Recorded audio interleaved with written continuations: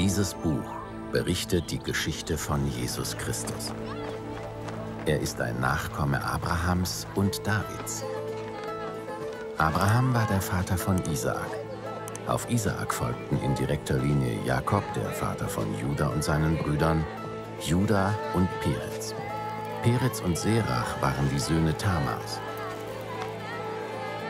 Der Sohn von Perez hieß Hezron.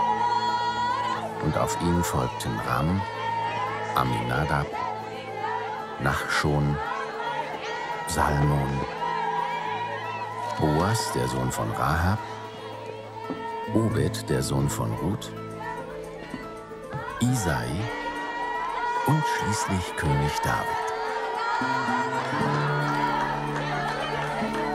Von David stammte Salomo ab, der Sohn von Urias Frau.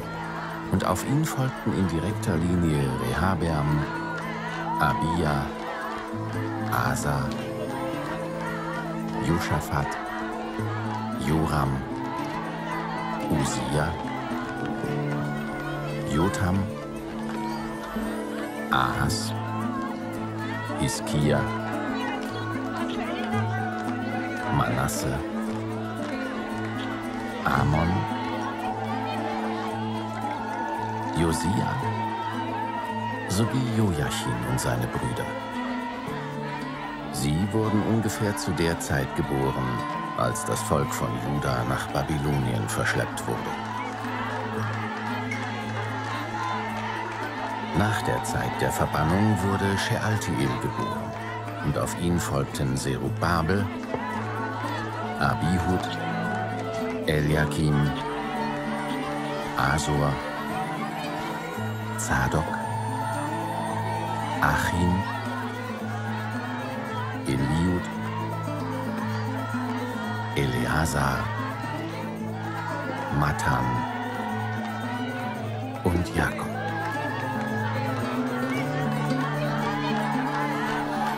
Jakob war der Vater von Josef und dieser wiederum der Mann von Maria.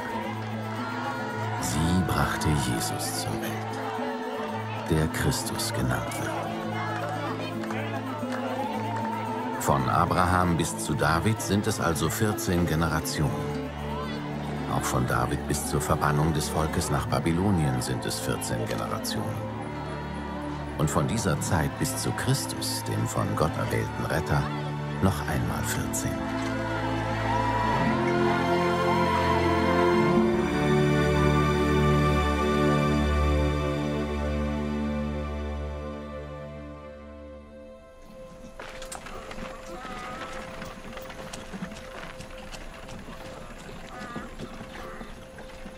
so wurde Jesus Christus geboren.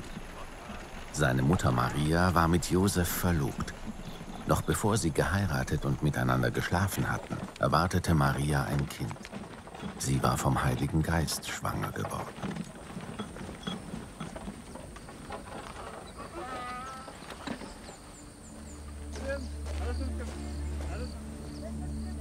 Josef war ein Mann, der sich an Gottes Gebote hielt. Er wollte Maria aber auch nicht öffentlich bloßstellen. So überlegte er, die Verlobung stillschweigend aufzulösen. Noch während er darüber nachdachte, erschien ihm im Traum ein Engel des Herrn und sagte, Josef, du Nachkomme von David, zögere nicht, Maria zu heiraten, denn das Kind, das sie erwartet, ist vom Heiligen Geist. Sie wird einen Sohn zur Welt bringen, den sollst du Jesus nennen. Der Herr rettet, denn er wird die Menschen seines Volkes von ihren Sünden befreien. Dies alles geschah, damit sich erfüllte, was der Herr durch seinen Propheten vorausgesagt hatte. Die Jungfrau wird schwanger werden und einen Sohn zur Welt bringen, den wird man Immanuel nennen. Immanuel bedeutet, Gott ist mit uns. Als Josef aufwachte, tat er, was der Engel des Herrn ihm aufgetragen hatte, und heiratete Maria. Er schlief aber nicht mit ihr bis zur Geburt ihres Sohnes. Josef gab ihm den Namen Jesus.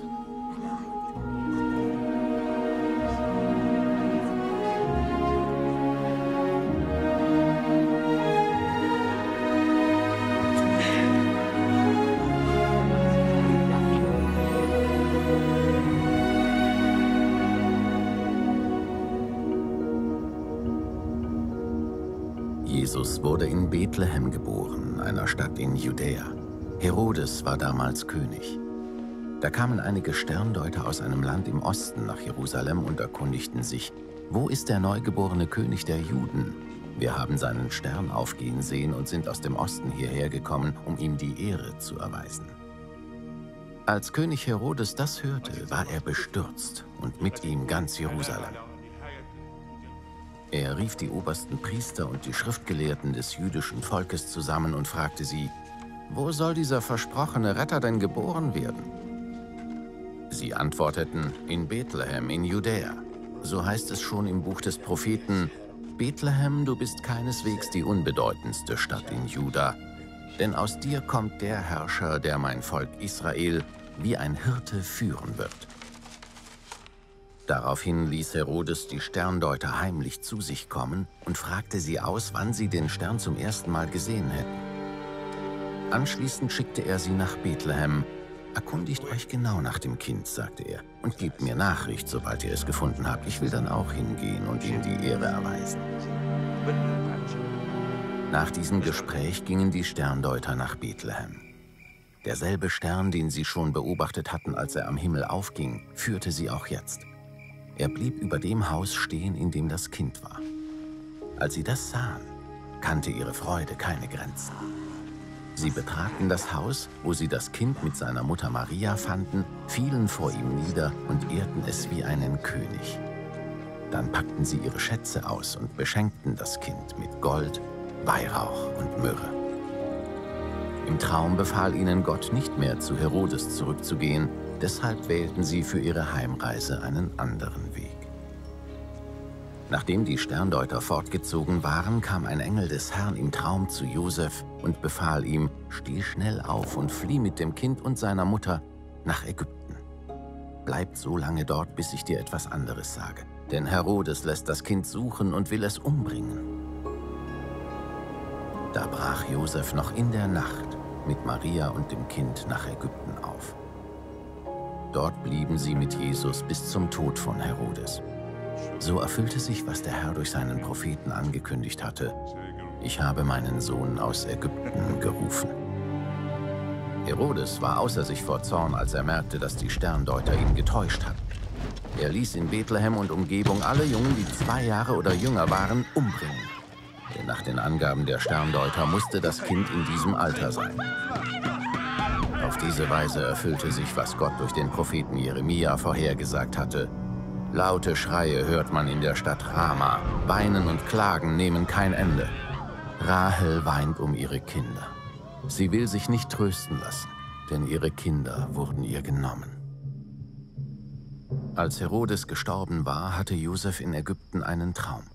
Darin erschien ihm wieder ein Engel des Herrn und befahl ihm, steh auf, und kehre mit dem Kind und seiner Mutter heim nach Israel. Die Leute, die das Kind umbringen wollten, sind tot. Josef gehorchte und ging mit Maria und dem Kind nach Israel zurück. Unterwegs aber erfuhr er, dass Archelaus, der Sohn von Herodes, nun König von Judäa geworden war. Da bekam Josef Angst, dorthin zu gehen. Nachdem Gott noch einmal im Traum zu ihm gesprochen hatte, zog er in das Gebiet von Galiläa so kamen sie in die Stadt Nazareth und ließen sich dort nieder. Auf diese Weise sollte sich erfüllen, was Gott durch die Propheten angekündigt hatte. Man wird ihn den Nazarener nennen.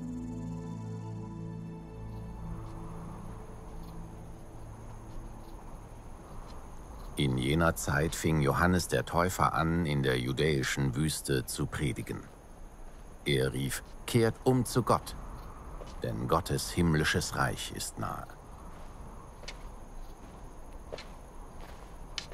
Über Johannes hatte Gott schon durch den Propheten Jesaja gesagt: Jemand ruft in der Wüste, macht den Weg frei für den Herrn, räumt alle Hindernisse weg.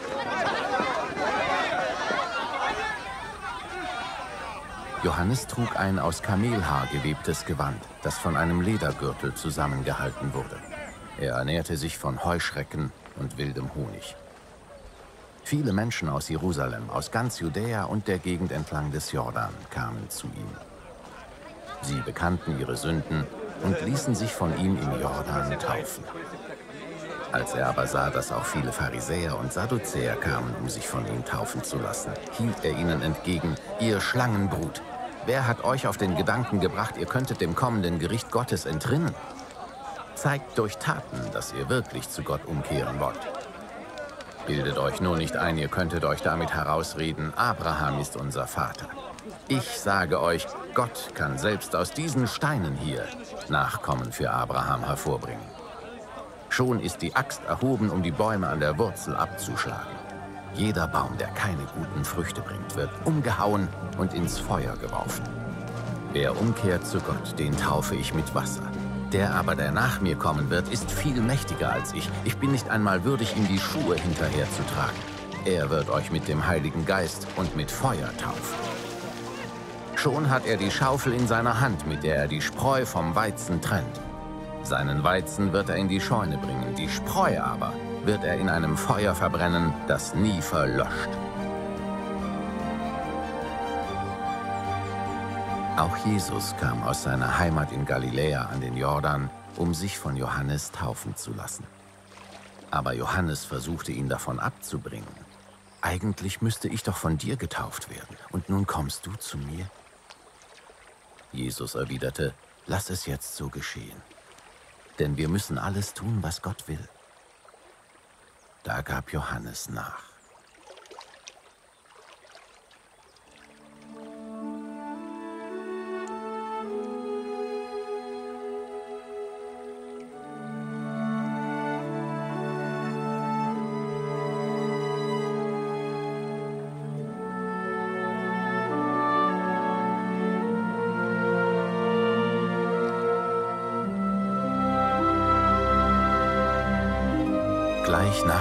Taufe stieg Jesus wieder aus dem Wasser. In diesem Augenblick öffnete sich der Himmel über ihm und er sah den Geist Gottes wie eine Taube herabkommen und sich auf ihn niederlassen. Gleichzeitig sprach eine Stimme vom Himmel, dies ist mein geliebter Sohn, über den ich mich von Herzen freue.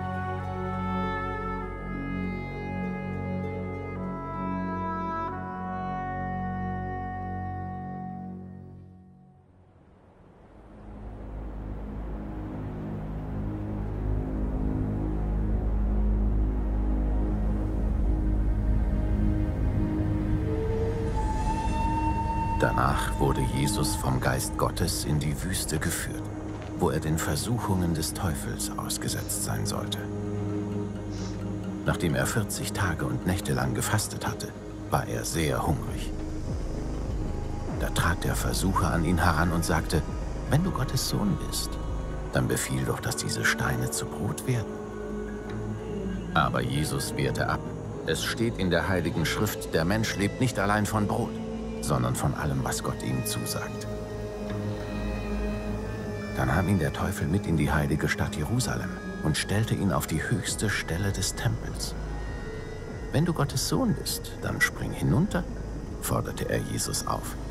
In der Schrift steht doch, Gott wird dir seine Engel schicken. Sie werden dich auf Händen tragen, sodass du dich nicht einmal an einem Stein stoßen wirst. Jesus entgegnete ihm, in der Schrift steht aber auch, du sollst den Herrn, deinen Gott, nicht herausfordern. Schließlich führte ihn der Teufel auf einen sehr hohen Berg und zeigte ihm alle Reiche der Welt mit ihrer ganzen Pracht. Das alles gebe ich dir, wenn du vor mir niederfällst und mich anbetest, sagte er. Aber Jesus wies ihn ab. Weg mit dir, Satan! Denn es heißt in der Schrift, bete allein den Herrn, deinen Gott an und diene nur ihm. Da ließ der Teufel von Jesus ab, und die Engel Gottes kamen und sorgten für ihn.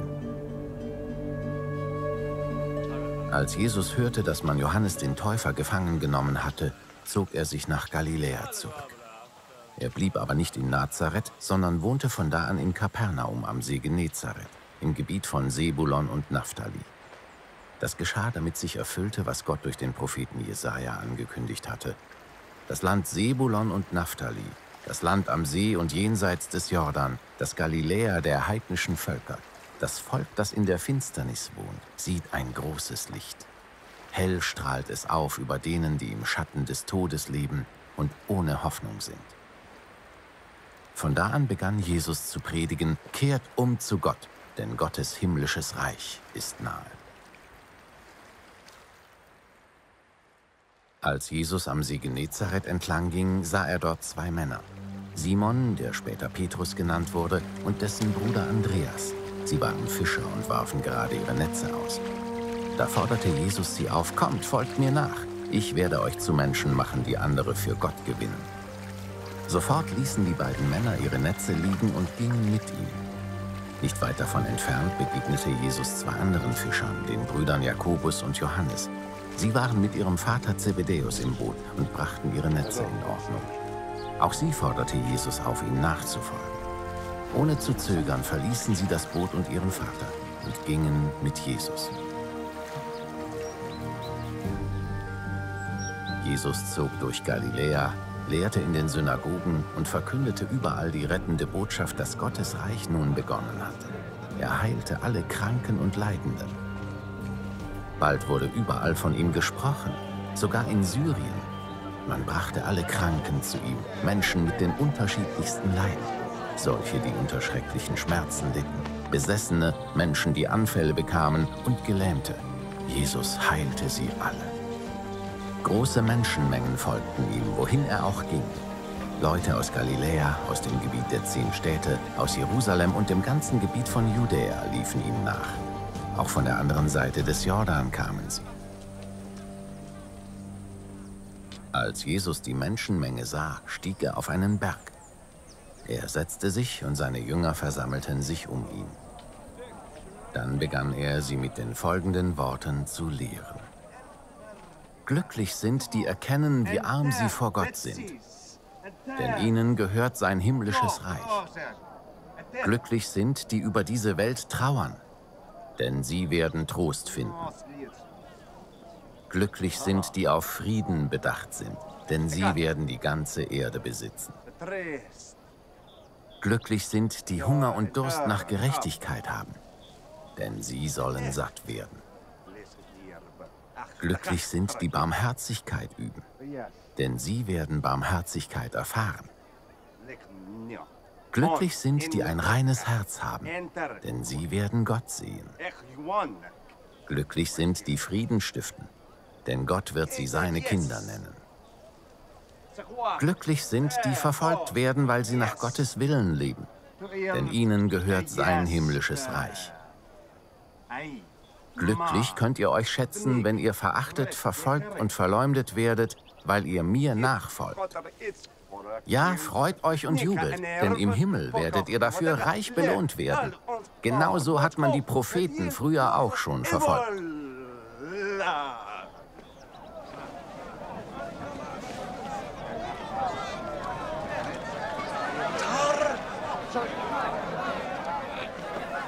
Ihr seid für die Welt wie Salz. Wenn das Salz aber fade geworden ist, wodurch soll es seine Würzkraft wiedergewinnen? Es ist nutzlos geworden. Man schüttet es weg und die Leute treten darauf herum. Ihr seid das Licht, das die Welt erhält. Eine Stadt, die oben auf einem Berg liegt, kann nicht verborgen bleiben. Man zündet ja auch keine Öllampe an und stellt sie dann unter einen Eimer. Im Gegenteil, man stellt sie auf den Lampenständer, so dass sie allen im Haus Licht gibt. Genauso soll euer Licht vor allen Menschen leuchten. Dann werden sie eure guten Taten sehen und euren Vater im Himmel preisen.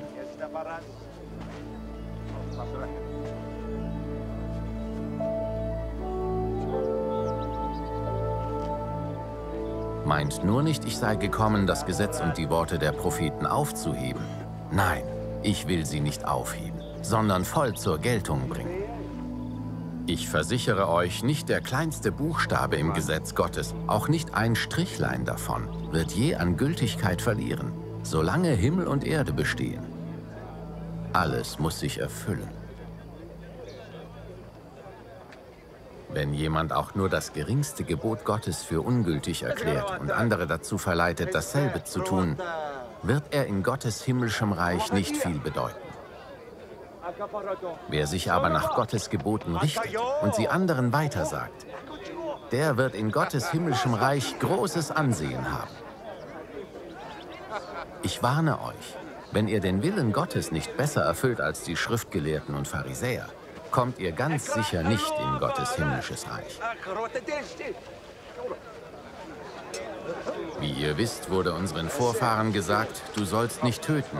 Wer aber einen Mord begeht, muss vor ein Gericht gestellt werden. Doch ich sage euch, schon wer auf seinen Mitmenschen zornig ist, gehört vor Gericht. Wer zu ihm sagt, du Schwachkopf, der gehört vor den Hohen Rat. Und wer ihn verflucht, der verdient es, ins Feuer der Hölle geworfen zu werden.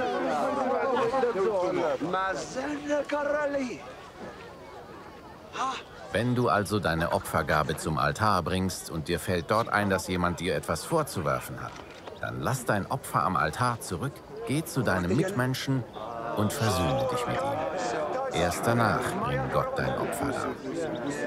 Wenn du jemandem etwas schuldig bist, dann setz alles daran, dich noch auf dem Weg zum Gericht mit deinem Gegner zu einigen. Sonst wird er dich dem Richter übergeben und dieser wird dich verurteilen und vom Gerichtsdiener ins Gefängnis stecken lassen.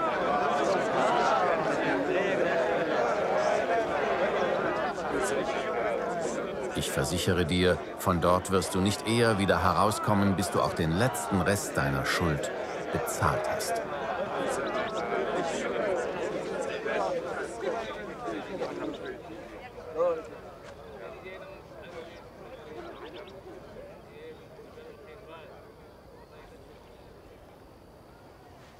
Ihr wisst, dass es heißt, du sollst nicht die Ehe brechen. Doch ich sage euch, schon wer eine Frau mit begehrlichen Blicken ansieht, der hat im Herzen mit ihr die Ehe gebrochen. Wenn dich also dein rechtes Auge zur Sünde verführt, dann reiß es heraus und wirf es weg. Besser du verlierst eins deiner Glieder, als dass du unversehrt in die Hölle geworfen wirst. Und wenn dich deine rechte Hand zum Bösen verführt, so hack sie ab und wirf sie weg.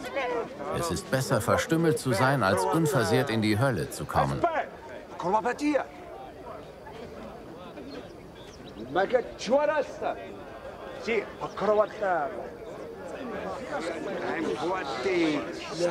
Es heißt auch, wer sich von seiner Frau trennen will, soll ihr eine Scheidungsurkunde geben. Doch ich sage euch, wer sich von seiner Frau scheiden lässt, obwohl sie ihn nicht betrogen hat, der treibt sie in den Ehebruch. Und wer eine geschiedene Frau heiratet, der begeht Ehebruch.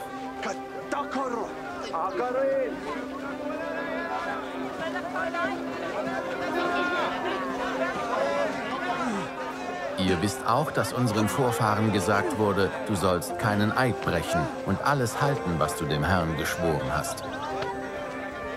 Doch ich sage euch, schwört überhaupt nicht. Schwört weder beim Himmel, denn er ist Gottes Thron, noch bei der Erde, denn sie ist der Schemel, auf dem seine Füße ruhen, noch bei Jerusalem, denn sie ist die Stadt Gottes, des großen Königs. Verbürge dich auch nicht mit deinem Kopf für etwas, denn du kannst ja nicht einmal ein einziges Haar darauf weiß oder schwarz werden lassen. Sag einfach Ja oder Nein. Alle anderen Beteuerungen zeigen nur, dass du dich vom Bösen bestimmen lässt. Ihr wisst, dass den Vorfahren auch gesagt wurde, Auge um Auge, Zahn um Zahn. Doch ich sage euch, leistet keine Gegenwehr, wenn man euch Böses antut. Wenn jemand dir eine Ohrfeige gibt, dann halte die andere Wange auch noch hin. Wenn einer dich vor Gericht bringen will, um dein Hemd zu bekommen, so lass ihm auch noch den Mantel. Und wenn einer von dir verlangt, eine Meile mit ihm zu gehen, dann geh zwei Meilen mit ihm. Gib jedem, der dich um etwas bittet, und weise den nicht ab, der etwas von dir leihen will. Es heißt bei euch, liebe deinen Mitmenschen und hasse deinen Feind.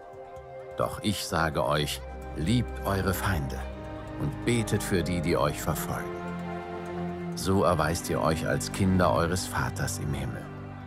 Denn er lässt seine Sonne für Böse wie für Gute aufgehen, und er lässt es regnen für Fromme und Gottlose. Wollt ihr etwa noch dafür belohnt werden, dass ihr die Menschen liebt, die euch auch lieben? Das tun sogar die Zolleinnehmer, die sonst bloß auf ihren Vorteil aus sind. Wenn ihr nur euren Freunden liebevoll begegnet, ist das etwas Besonderes? Das tun auch die, die von Gott nichts wissen. Ihr aber sollt in eurer Liebe vollkommen sein, wie es euer Vater im Himmel ist. Hütet euch davor, eure Frömmigkeit vor den Menschen zur Schau zu stellen. Sonst könnt ihr von eurem Vater im Himmel keinen Lohn mehr erwarten. Wenn du also einem Armen etwas gibst, dann posaune es nicht hinaus wie die Heuchler. Sie reden davon in den Synagogen und auf den Gassen, damit alle sie bewundern. Ich versichere euch, diese Leute haben ihren Lohn schon erhalten. Bei dir soll es anders sein. Wenn du einem Bedürftigen hilfst, dann soll deine linke Hand nicht wissen, was die rechte tut. Niemand soll davon erfahren. Dein Vater, der auch das Verborgene sieht, wird dich dafür belohnen. Und wenn ihr betet, dann tut das nicht wie die Heuchler. Sie beten gern öffentlich in den Synagogen und an den Straßenecken, um von den Menschen gesehen zu werden. Ich versichere euch, diese Leute haben ihren Lohn schon erhalten. Wenn du beten willst, zieh dich zurück in dein Zimmer, schließ die Tür hinter dir zu und bete zu deinem Vater. Denn er ist auch da, wo niemand zuschaut.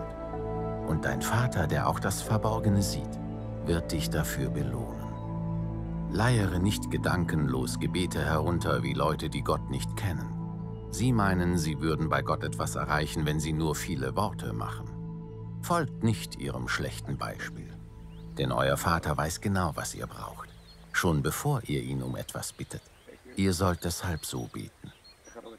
Unser Vater im Himmel, dein heiliger Name soll geehrt werden. Lass dein Reich kommen.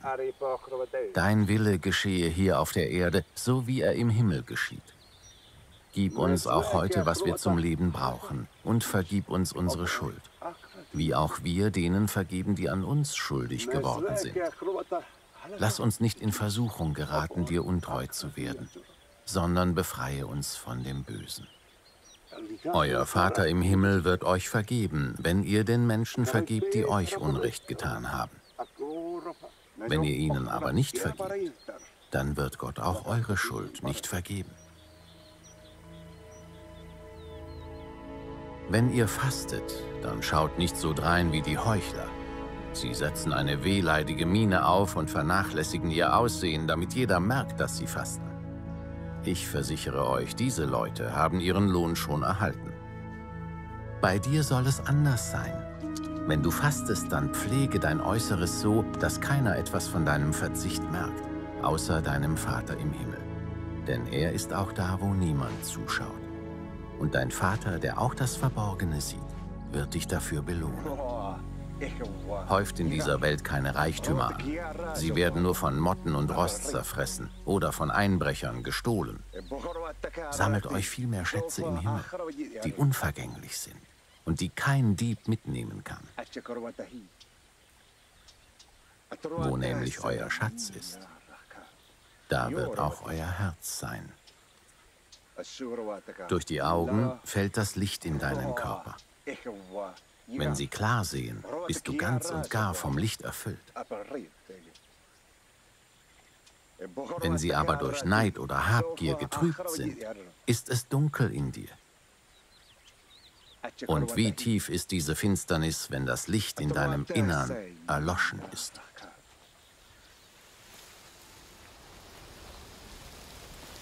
Niemand kann zwei Herren gleichzeitig dienen.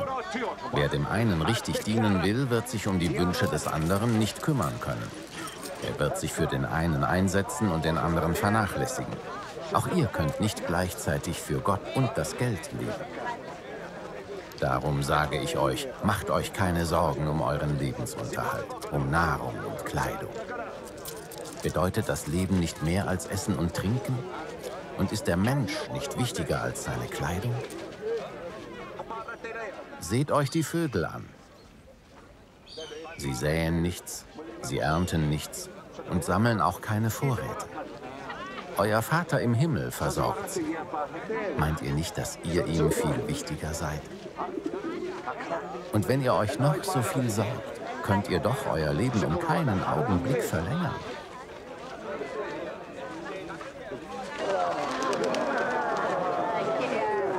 Weshalb macht ihr euch so viele Sorgen um eure Kleider? Seht euch an, wie die Lilien auf den Wiesen blühen. Sie mühen sich nicht ab und können weder spinnen noch weben. Ich sage euch, selbst König Salomo war in seiner ganzen Herrlichkeit nicht so prächtig gekleidet wie eine von ihnen. Wenn Gott sogar die Blumen so schön wachsen lässt, die heute auf der Wiese stehen, morgen aber schon verbrannt werden, wird er sich nicht erst recht um euch kümmern? Vertraut ihr Gott so wenig?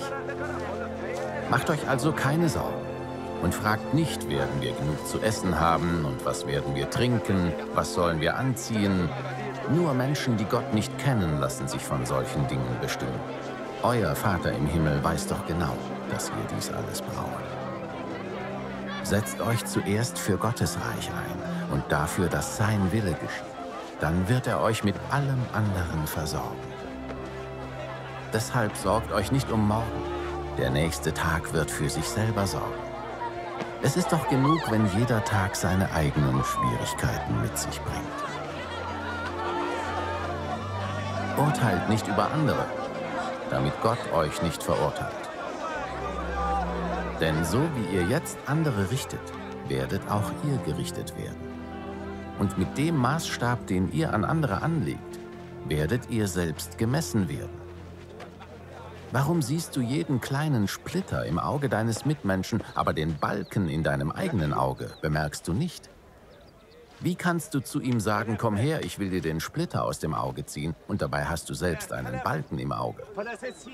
Du Heuchler, entferne zuerst den Balken aus deinem Auge, dann kannst du klar sehen, um auch den Splitter aus dem Auge deines Mitmenschen zu ziehen. Werft, was heilig ist, nicht den Hunden hin. Sie werden euch angreifen und in Stücke reißen. Und werft eure Perlen nicht vor die Säue. Sie werden die Perlen nur zertreten. Bittet Gott und er wird euch geben.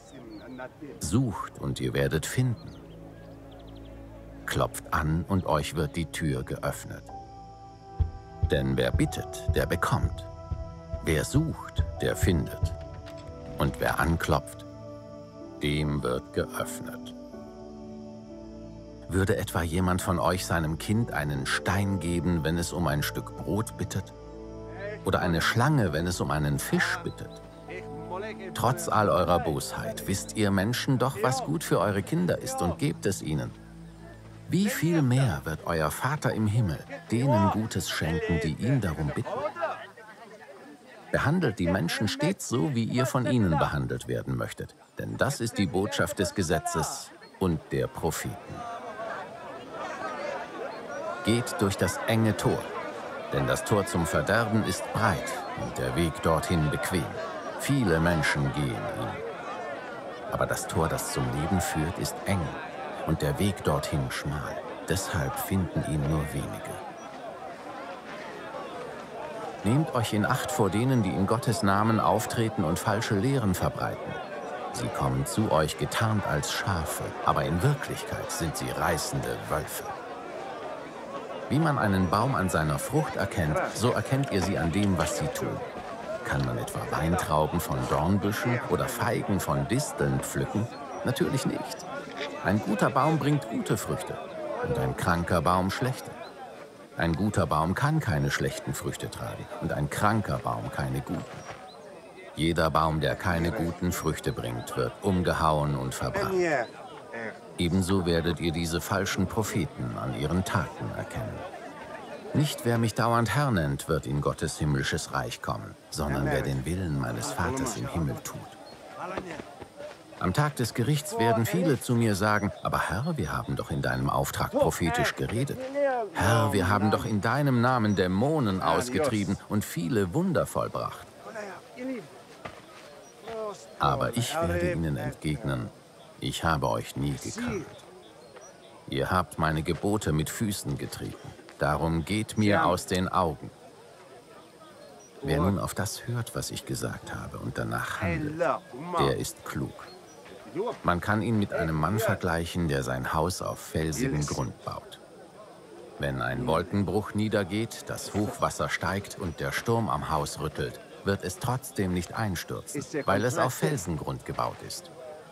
Wer sich meine Worte nur anhört, aber nicht danach lebt, der ist so unvernünftig wie einer, der sein Haus auf Sand baut.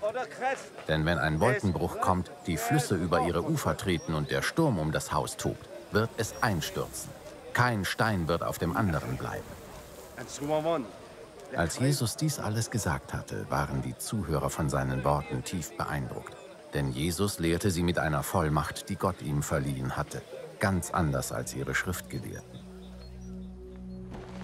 Eine große Menschenmenge folgte Jesus, als er vom Berg herabstieg. Da kam ein Aussätziger und warf sich vor ihm nieder. Herr, wenn du willst, kannst du mich heilen. Jesus streckte die Hand aus, berührte ihn und sagte, das will ich. Sei gesund. Im selben Augenblick war der Mann von seiner Krankheit geheilt. Da befahl ihm Jesus nachdrücklich, sag niemandem etwas, sondern geh sofort zum Priester und lass dich von ihm untersuchen. Danach bring das Opfer dar, wie es Mose vorgeschrieben hat. So werden die Menschen sehen, dass ich im Auftrag Gottes handle.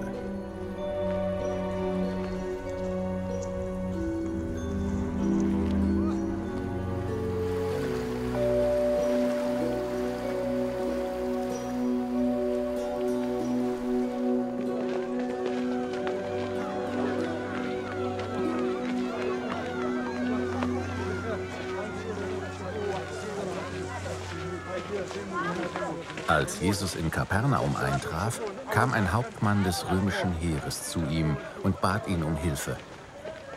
Herr, mein Diener liegt gelähmt bei mir zu Hause und leidet entsetzlich. Jesus antwortete, ich will mitkommen und ihn heilen. Der Hauptmann erwiderte, Herr, ich bin es nicht wert, dich in meinem Haus zu empfangen. Sag nur ein einziges Wort, dann wird mein Diener gesund. Auch ich stehe unter höherem Befehl und habe andererseits Soldaten, die mir gehorchen. Wenn ich zu einem sage, geh, dann geht er. Befehle ich einem anderen, komm, dann kommt er. Und wenn ich zu meinem Diener sage, tu dies, dann führt er meinen Auftrag aus. Als Jesus das hörte, wunderte er sich sehr. Er sagte zu den Menschen, die ihm gefolgt waren, eins ist sicher, unter allen Juden in Israel bin ich keinem Menschen mit einem so festen Glauben begegnet. Und ich sage euch, viele Menschen aus aller Welt werden kommen und mit Abraham, Isaak und Jakob im Himmel das Freudenfest feiern. Aber die ursprünglich für Gottes Reich bestimmt waren, werden in die tiefste Finsternis hinausgestoßen, wo es nur noch Heulen und ohnmächtiges Jammern gibt. Dann sagte Jesus zu dem Hauptmann, Geh wieder nach Hause was du geglaubt hast, soll nun geschehen. Zur selben Zeit wurde der Diener gesund.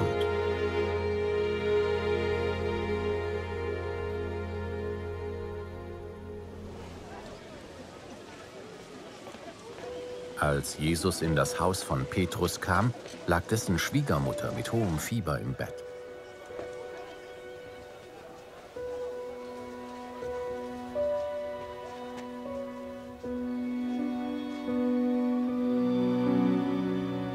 Jesus ergriff ihre Hand und sofort verschwand das Fieber.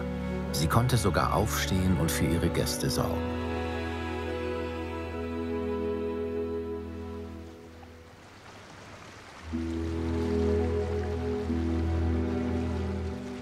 Am Abend brachte man viele von Dämonen beherrschte Menschen zu Jesus. Er brauchte nur ein Wort zu sagen, und die Besessenen wurden frei und alle Kranken geheilt. So sollte sich erfüllen, was Gott durch den Propheten Jesaja vorhergesagt hatte. Er nahm unsere Leiden auf sich und trug unsere Krankheiten.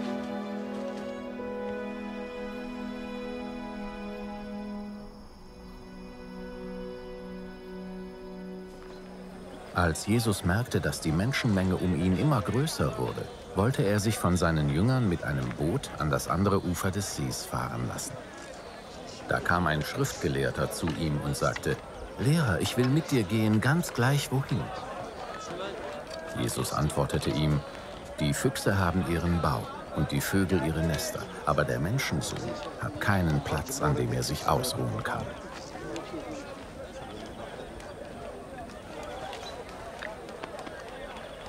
Einer, der zu seinen Jüngern gehörte, bat Jesus, Herr, lass mich erst noch nach Hause gehen und meinen Vater bestatten. Doch Jesus erwiderte, komm jetzt mit mir und überlass es den Toten, ihre Toten zu begraben.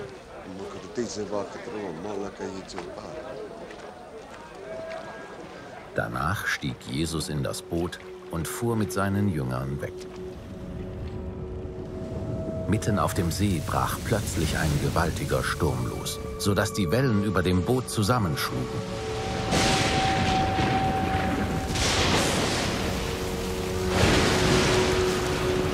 Aber Jesus schlief. Da liefen die Jünger zu ihm, weckten ihn auf und riefen, Herr, hilf uns, wir gehen unter. Jesus antwortete ihnen, warum habt ihr Angst? Vertraut ihr mir so wenig? Dann stand er auf und befahl dem Wind und den Wellen, sich zu legen. Sofort hörte der Sturm auf und es wurde ganz still. Alle fragten sich voller Staunen, was ist das für ein Mensch? Selbst Wind und Wellen gehorchen ihm.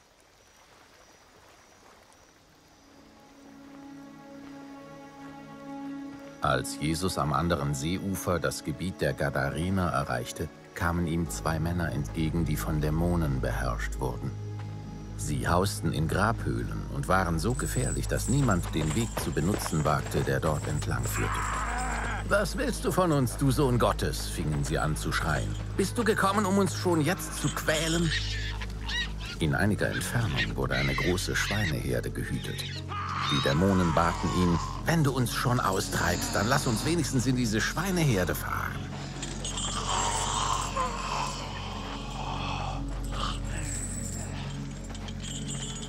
Jesus befahl ihnen, ja, fort mit euch. Da verließen die Dämonen die beiden Männer und bemächtigten sich der Tiere.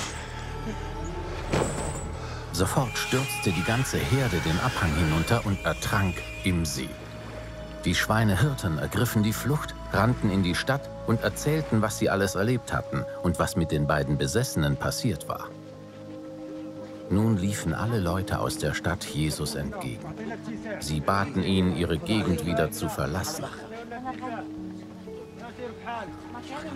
Jesus stieg in ein Boot und fuhr über den See zurück nach Kapernaum, wo er wohnte. Dort brachten sie einen Gelähmten auf einer Trage zu ihm. Als Jesus ihren festen Glauben sah, sagte er zu dem Gelähmten, Du kannst unbesorgt sein, mein Sohn, deine Sünden sind dir vergeben. Das ist Gotteslästerung, dachten sich einige Schriftgelehrte. Jesus durchschaute sie und fragte, warum tragt ihr so böse Gedanken in euch? Ist es denn leichter zu sagen, dir sind deine Sünden vergeben oder diesen Gelähmten zu heilen.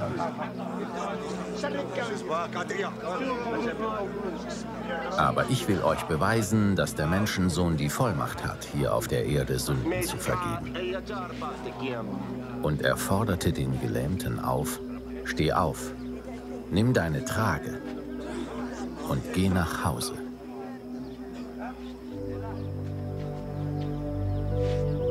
Da stand der Mann auf und ging nach Hause.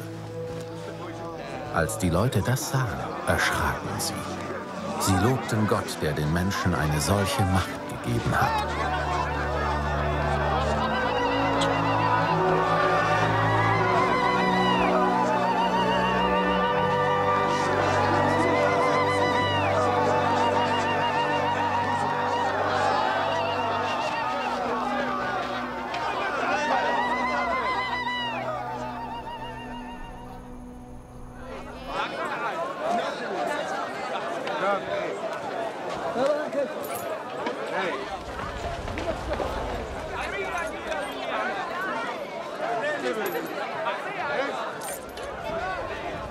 Jesus weiterging, sah er einen Mann am Zoll sitzen. Er hieß Matthäus. Jesus forderte ihn auf, komm, folge mir nach.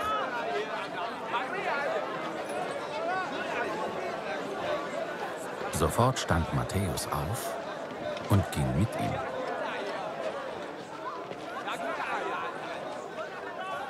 Später war Jesus mit seinen Jüngern bei Matthäus zu Gast.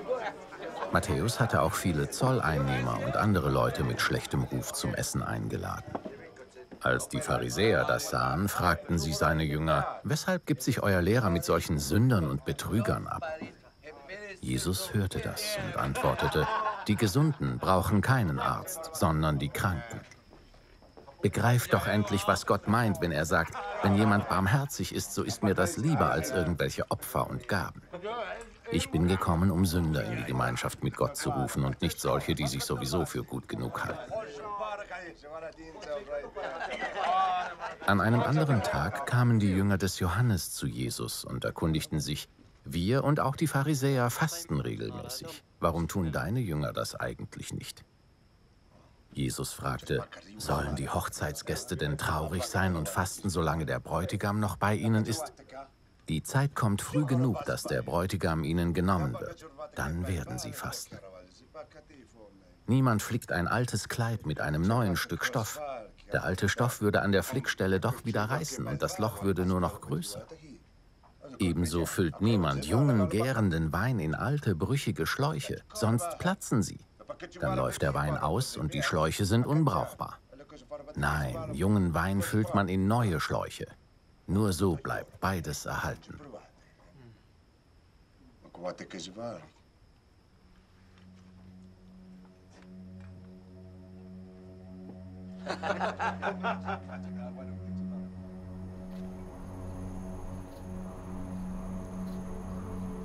Als Jesus noch mit ihnen redete, kam ein Vorsteher der jüdischen Gemeinde zu ihm, warf sich vor ihm nieder und sagte, Meine Tochter ist gerade gestorben, aber komm doch und leg deine Hände auf sie, dann wird sie wieder lebendig.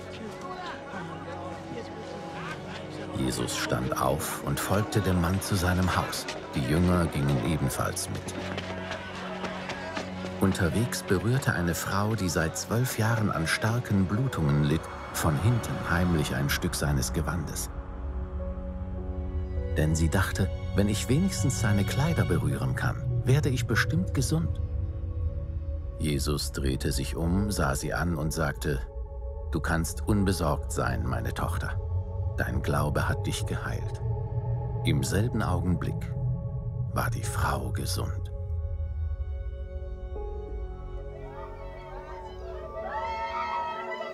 Schließlich kam Jesus zum Haus des Vorstehers.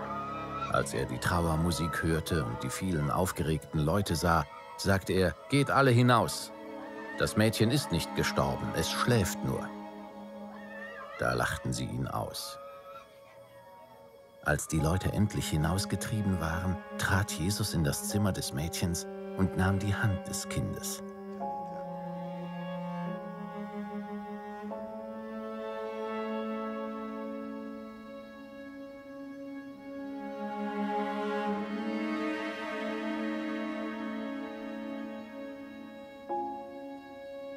Stand das Mädchen auf und war gesund.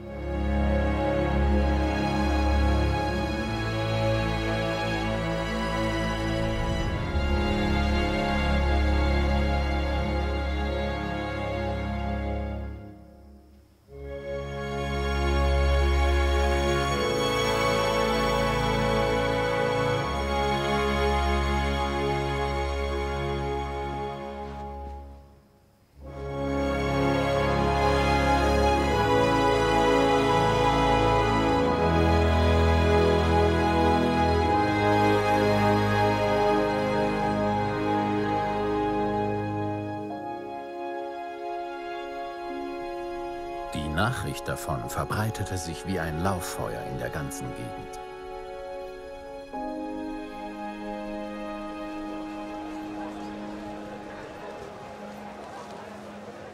Als Jesus weiterging, liefen ihm zwei Blinde nach und schrien, Du Sohn Davids, hab Erbarmen mit uns.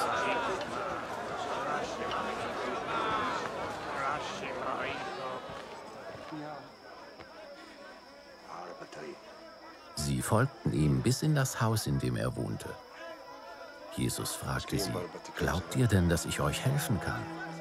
Ja, Herr, antworteten sie. Da berührte er ihre Augen und sagte, was ihr mir zutraut, das soll geschehen. Sofort konnten sie sehen.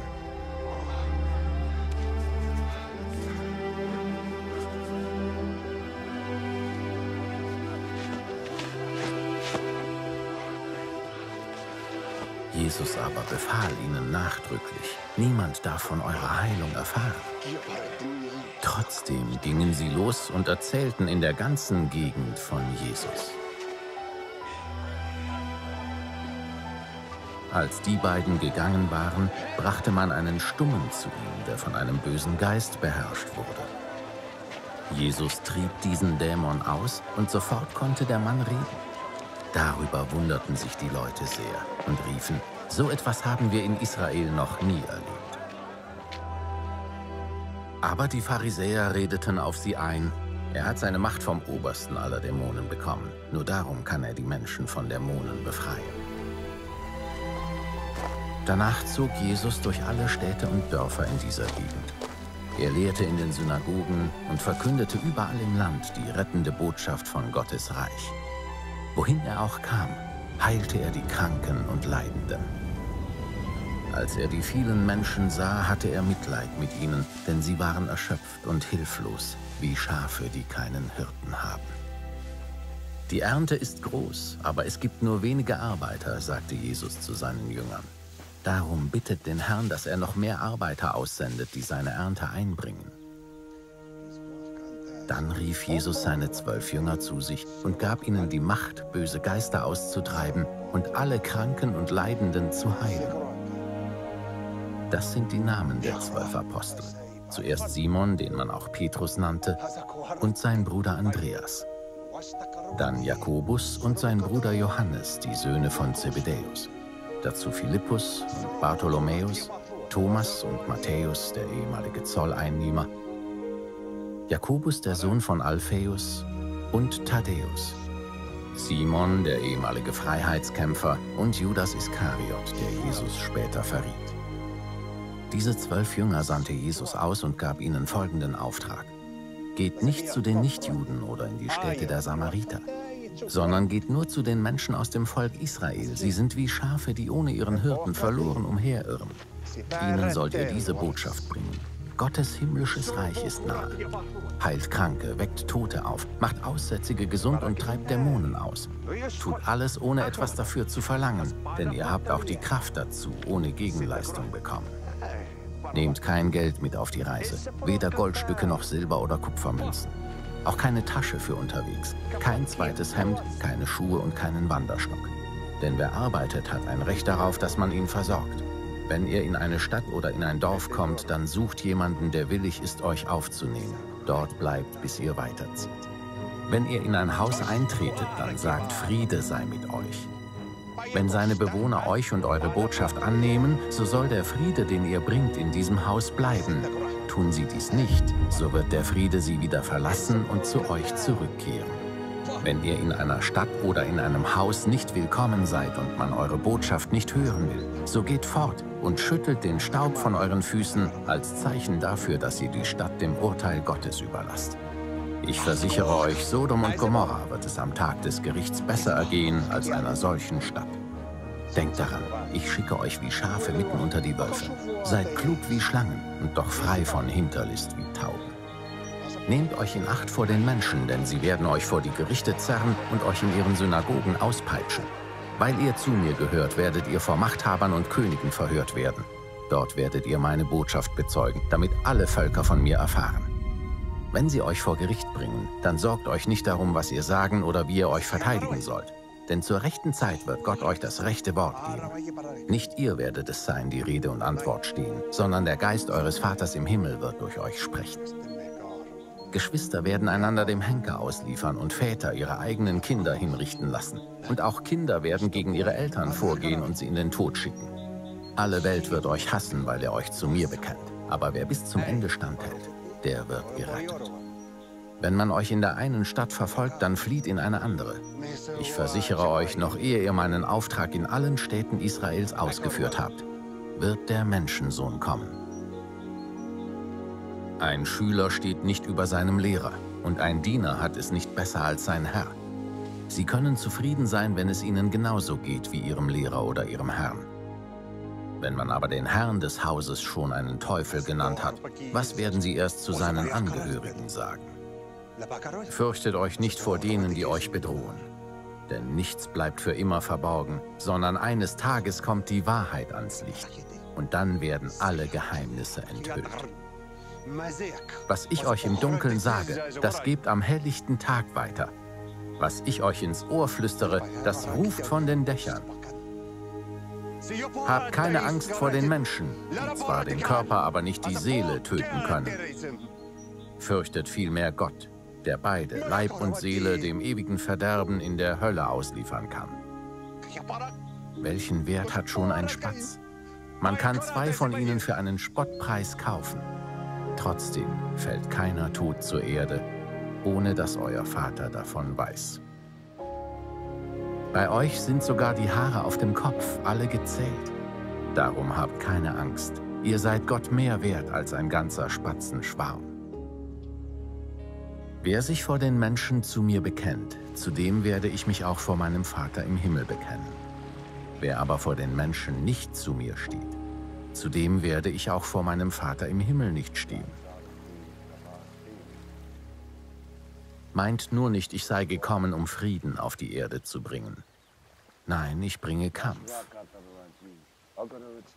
Ich werde Vater und Sohn, Mutter und Tochter, Schwiegertochter und Schwiegermutter gegeneinander aufbringen. Die eigenen Angehörigen werden zu Feinden.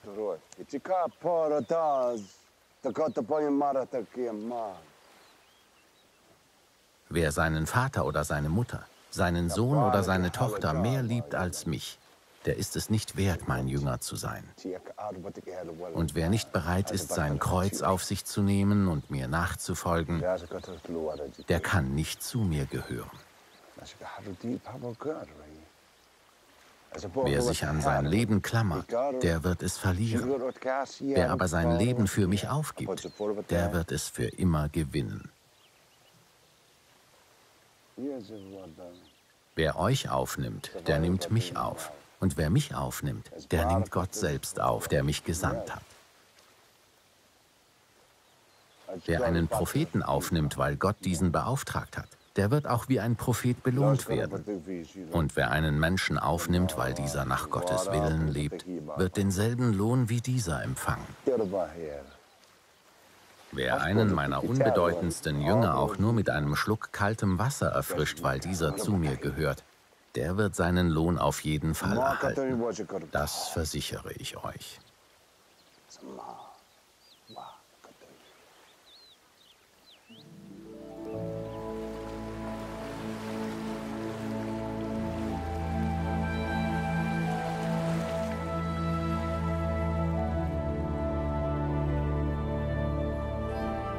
Nachdem Jesus seinen zwölf Jüngern diese Anweisungen gegeben hatte, zog er weiter, um die Menschen in den Städten des Landes zu lehren und ihnen die rettende Botschaft zu verkünden.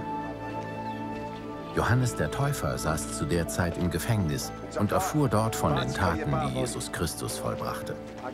Er schickte seine Jünger zu Jesus und ließ ihn fragen, bist du wirklich der Retter, der kommen soll, oder müssen wir auf einen anderen warten? Jesus antwortete ihnen, Geht zu Johannes zurück und erzählt ihm, was ihr hört und seht. Blinde sehen, Gelähmte gehen, Aussätzige werden geheilt, Taube hören, Tote werden wieder lebendig und den Armen wird die rettende Botschaft verkündet.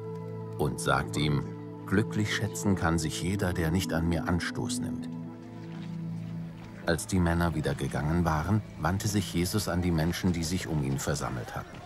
Dann fing er an, über Johannes zu reden. Was habt ihr von ihm erwartet, als ihr in die Wüste hinausgegangen seid? fragte er. Wolltet ihr ein Schilfrohr sehen, das bei jedem Windhauch hin und her schwankt? Oder wolltet ihr einen Mann in vornehmer Kleidung sehen? Dann hättet ihr in die Königspaläste gehen müssen. Dort leben solche Menschen. Oder wolltet ihr einem Propheten begegnen? Ja, Johannes ist ein Prophet und mehr als das. Er ist der Mann, von dem es in der Heiligen Schrift heißt, Ich sende dir meinen Boten voraus, der dein Kommen ankündigt und dir den Weg bereitet. Ich versichere euch, von allen Menschen, die je geboren wurden, ist keiner bedeutender als Johannes der Täufer. Trotzdem ist selbst der Geringste in Gottes himmlischem Reich größer als er. Seit Johannes der Täufer zu wirken begann, ist Gottes himmlisches Reich immer näher gerückt. Bis heute setzt es sich machtvoll durch, auch wenn andere das mit Gewalt verhindern wollen. Das ganze Gesetz und die Propheten bis hin zu Johannes haben auf dieses Reich hingewiesen. Wenn ihr es annehmen könnt, dann begreift doch, Johannes ist Elia, dessen Kommen angekündigt wurde. Wer Ohren hat, der soll auf meine Worte hören. Wie soll ich die Menschen von heute beschreiben? Sie sind wie Kinder, die sich auf dem Marktplatz streiten und einander vorwerfen, wir haben fröhliche Lieder auf der Flöte gespielt und ihr habt nicht getanzt. Dann haben wir Klagelieder gesungen und ihr habt nicht getrauert. Johannes kam, fastete oft und trank keinen Wein. Da hieß es, der ist ja von einem Dämon besessen. Nun ist der Menschensohn gekommen, isst und trinkt wie jeder andere und jetzt heißt es, er frisst und säuft und seine Freunde sind die Zolleinnehmer und Sünder. Doch wie recht die Weisheit Gottes hat, erweist sich in dem, was sie bewirkt. Mit scharfen Worten tadelte Jesus dann die Städte, in denen er die meisten Wunder getan hatte und die trotzdem nicht zu Gott umgekehrt waren. Weh dir, Korazin, weh dir, Bethsaida.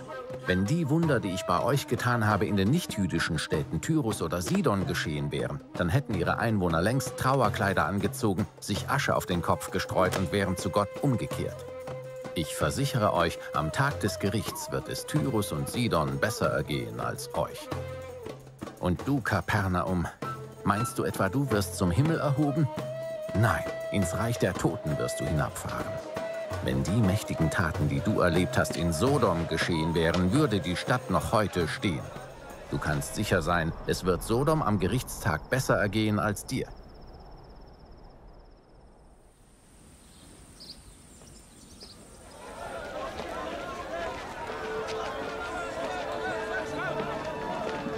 Zu der Zeit betete Jesus, Mein Vater, Herr über Himmel und Erde, ich preise dich, dass du die Wahrheit über dein Reich vor den Klugen und Gebildeten verborgen und sie den Unwissenden enthüllt hast. Ja, Vater, das war dein Wille. So hat es dir gefallen. Mein Vater hat mir alle Macht gegeben. Nur der Vater kennt den Sohn. Und nur der Sohn kennt den Vater. Und jeder, dem der Sohn ihn offenbaren will.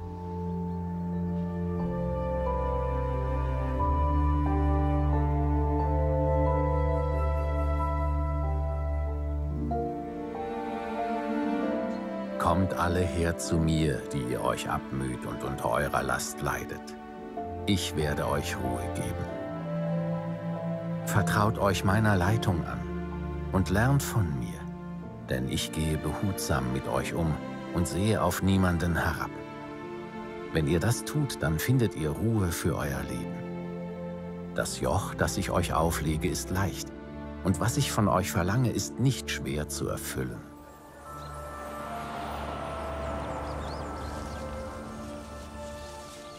Zu der Zeit ging Jesus an einem Sabbat mit seinen Jüngern durch die Getreidefelder. Die Jünger waren hungrig und fingen an, Ähren abzureißen, um die Körner zu essen. Als die Pharisäer das sahen, beschwerten sie sich bei Jesus. Sieh dir das an. Was deine Jünger da machen, ist am Sabbat doch gar nicht erlaubt. Aber Jesus antwortete ihnen, Habt ihr denn nicht gelesen, was König David tat, als er und seine Männer hungrig waren? Er ging in das Haus Gottes und gemeinsam aßen sie von dem Brot, das Gott geweiht war. Niemand außer den Priestern durfte das. David nicht und auch seine Männer nicht. Habt ihr nicht außerdem im Gesetz gelesen, dass die Priester auch am Sabbat im Tempel Dienst tun und so die Sabbatvorschriften übertreten? Trotzdem sind sie frei von Schuld. Und ich sage euch, hier geht es um etwas Größeres als den Tempel. Es heißt, wenn jemand barmherzig ist, so ist mir das lieber als irgendwelche Opfer und Gaben. Hättet ihr verstanden, was das bedeutet, dann würdet ihr nicht Unschuldige verurteilen. Denn der Menschensohn ist Herr über den Sabbat und kann somit entscheiden, was am Sabbat erlaubt ist.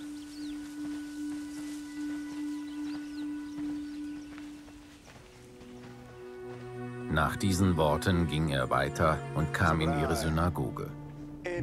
Dort war ein Mann mit einer verkrüppelten Hand. Die Pharisäer fragten ihn, erlaubt das Gesetz Gottes am Sabbat zu heilen? Sie suchten damit einen Vorwand, um Anklage gegen ihn zu erheben. Jesus antwortete, angenommen jemand von euch besitzt ein Schaf und das fällt am Sabbat in eine Grube, wird er es nicht sofort herausholen? Und ein Mensch ist doch viel mehr wert als ein Schaf. Also ist es erlaubt, am Sabbat Gutes zu tun.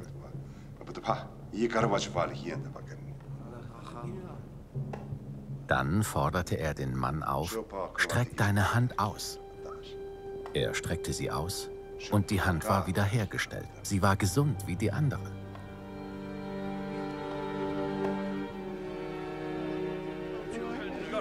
Da verließen die Pharisäer die Synagoge und fassten miteinander den Beschluss, Jesus zu töten. Jesus wusste, was die Pharisäer vorhatten und ging von dort weg. Viele Menschen folgten ihm und er heilte alle Kranken. Er schärfte ihnen jedoch ein, kein Aufsehen um ihn zu erregen. So sollte sich erfüllen, was Gott durch den Propheten Jesaja vorausgesagt hatte. Dies ist mein Diener, den ich erwählt habe. Ich liebe ihn und freue mich über ihn. Ich werde ihm meinen Geist geben und er wird den Völkern mein Recht verkünden. Er kämpft und streitet nicht. Er lässt seine Stimme nicht durch die Straßen der Stadt hallen. Das geknickte Schilfrohr wird er nicht abbrechen und den glimmenden Docht nicht auslöschen. Er wird das Recht schließlich zum Sieg führen. Auf ihn werden die Völker ihre Hoffnung setzen.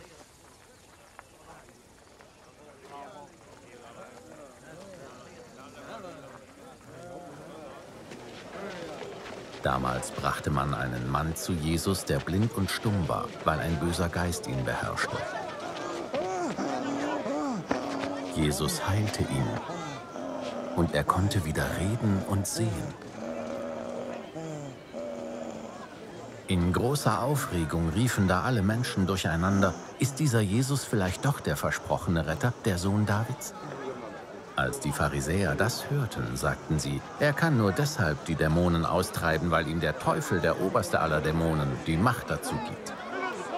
Jesus kannte ihre Gedanken und entgegnete, ein Staat, in dem verschiedene Herrscher um die Macht kämpfen, steht vor dem Untergang. Eine Stadt oder eine Familie, in der man ständig in Zank und Streit lebt, hat keinen Bestand. Wenn also der Satan den Satan vertreibt, bekämpft er sich ja selbst. Meint ihr etwa, dann könnte sein Reich noch bestehen? Und wenn ich, wie ihr behauptet, die Dämonen durch die Kraft des Teufels austreibe, welche Kraft nutzen dann eure eigenen Leute, um böse Geister auszutreiben? Sie selbst werden euch deswegen das Urteil sprechen. Wenn ich aber die Dämonen durch den Geist Gottes austreibe, so ist das ein Zeichen dafür, dass Gottes Reich unter euch angebrochen ist. Denn wie kann jemand in das Haus eines starken Mannes eindringen und seinen Besitz rauben? Erst muss er den Mann fesseln und dann kann er sein Haus plündern. Wer nicht für mich ist, der ist gegen mich. Und wer nicht mit mir Menschen für Gott gewinnt, der führt sie in die Irre. Darum sage ich euch, jede Sünde, ja sogar Gotteslästerung kann vergeben werden. Wer aber den Heiligen Geist verlästert, der wird keine Vergebung finden. Wer abfällig über den Menschensohn redet, dem kann vergeben werden. Wer aber meint, er könne abfällig über den Heiligen Geist reden, der wird niemals Vergebung finden, weder jetzt noch in der zukünftigen Welt.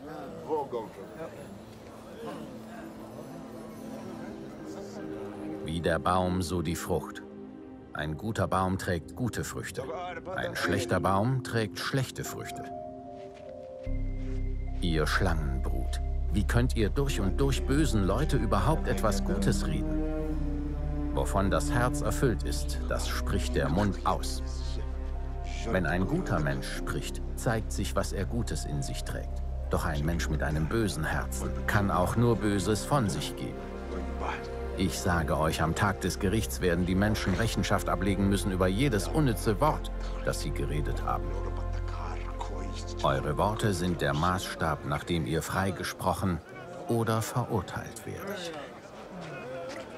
Einige Schriftgelehrte und Pharisäer traten an Jesus heran und sagten, Lehrer, vollbringe vor unseren Augen ein Wunder, als Beweis dafür, dass Gott dich gesandt hat.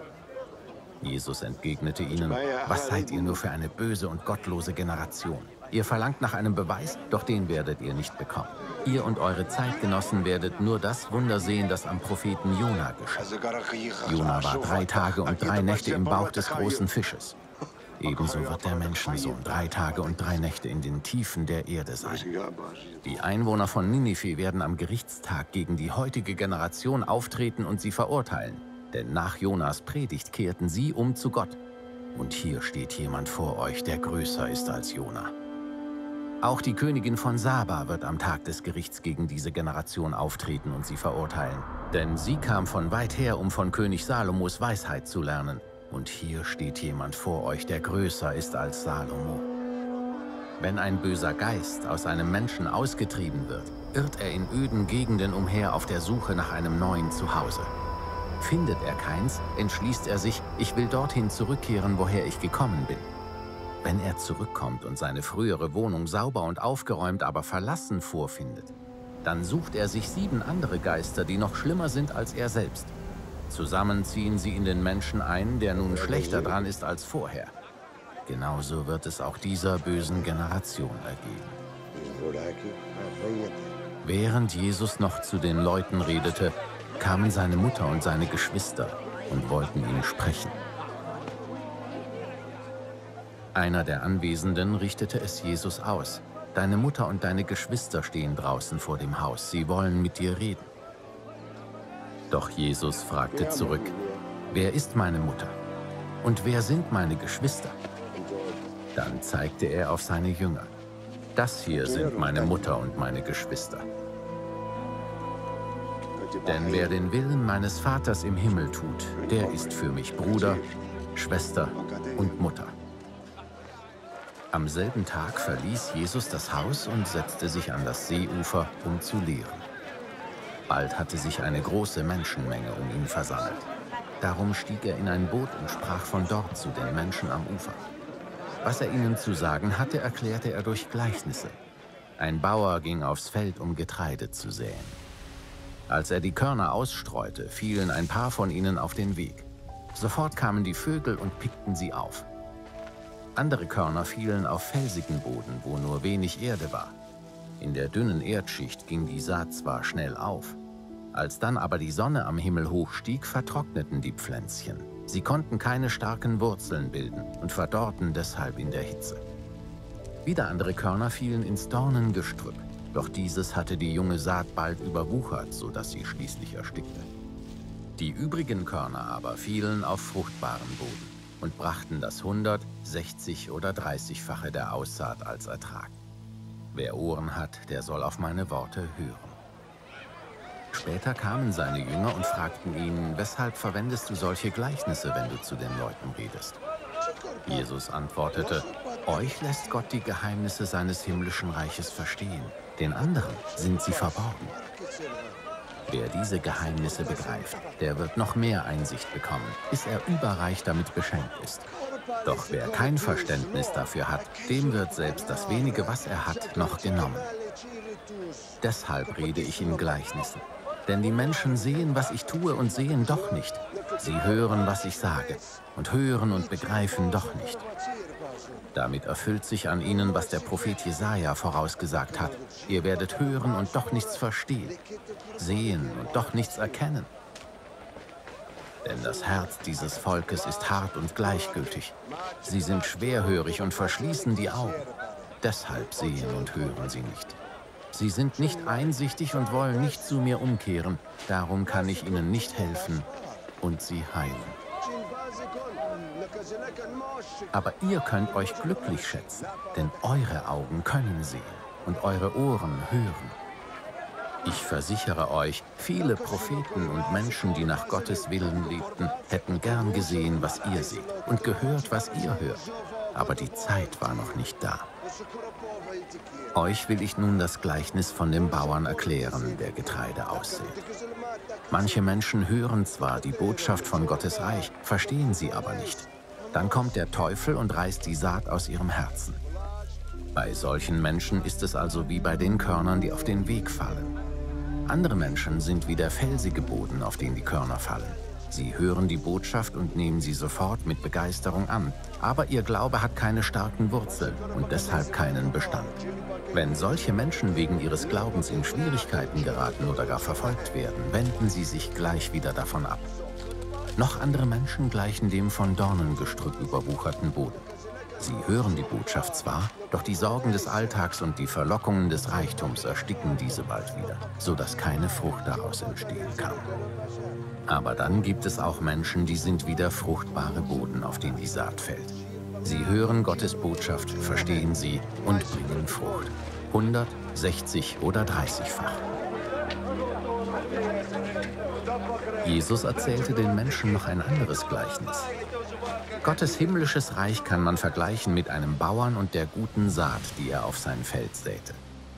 Eines Nachts, als alles schlief, kam sein Feind, säte Unkraut zwischen den Weizen und schlich sich davon. Als nun die Saat heranwuchs und sich Ähren bildeten, ging auch das Unkraut auf. Da kamen die Arbeiter des Grundbesitzers und fragten ihn, Herr, hast du nicht gute Saat auf dein Feld gesät? Woher kommt dann das Unkraut? Das muss mein Feind gewesen sein, antwortete der Bauer. Sollen wir hingehen und das Unkraut ausreißen? fragten die Arbeiter.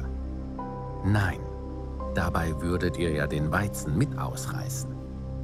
Lasst beides bis zur Ernte wachsen. Dann werde ich den Erntearbeitern befehlen, reißt zuerst das Unkraut aus und bindet es zusammen, damit wir es verbrennen können.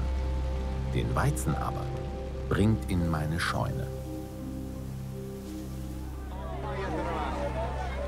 Jesus erzählte ein weiteres Gleichnis. Mit Gottes himmlischem Reich ist es wie mit einem Senfkorn, das ein Mann auf sein Feld sät. Es ist zwar das kleinste von allen Samenkörnern, aber wenn es aufgeht und wächst, wird es größer als andere Sträucher. Ja, es wird zu einem Baum, auf den die Vögel fliegen, um in seinen Zweigen ihre Nester zu bauen. Und auch das folgende Gleichnis erzählte Jesus. Man kann Gottes himmlisches Reich mit einem Sauerteig vergleichen, den eine Frau zum Brotbacken nimmt.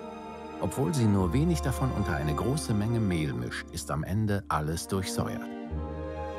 All das sagte Jesus der Menschenmenge in Form von Gleichnissen. Sie fehlten in keiner seiner Predigten. So sollte sich erfüllen, was Gott durch seinen Propheten angekündigt hatte. Ich werde in Gleichnissen zu ihnen reden. Geheimnisse, die seit Weltbeginn verborgen waren, will ich ihnen enthüllen.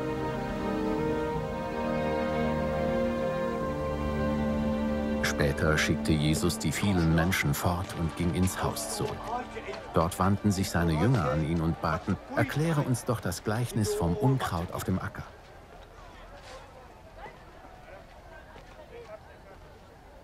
Jesus antwortete, der Bauer, der die gute Saat aussät, ist der Menschensohn.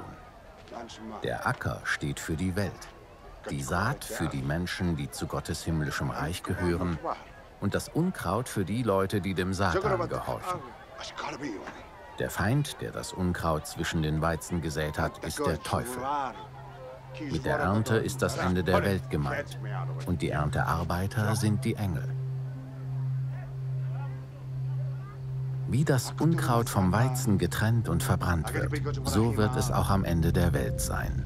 Der Menschensohn wird seine Engel schicken, damit sie alle aus seinem Reich aussondern, die andere zur Sünde verführt und sich gegen Gottes Gebote aufgelehnt haben.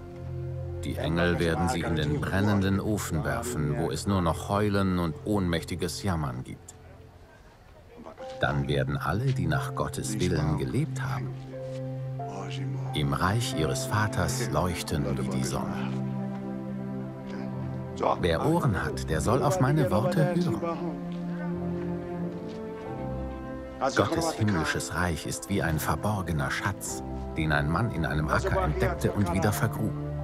In seiner Freude verkaufte er sein gesamtes Hab und Gut und kaufte dafür den Acker mit dem Schatz.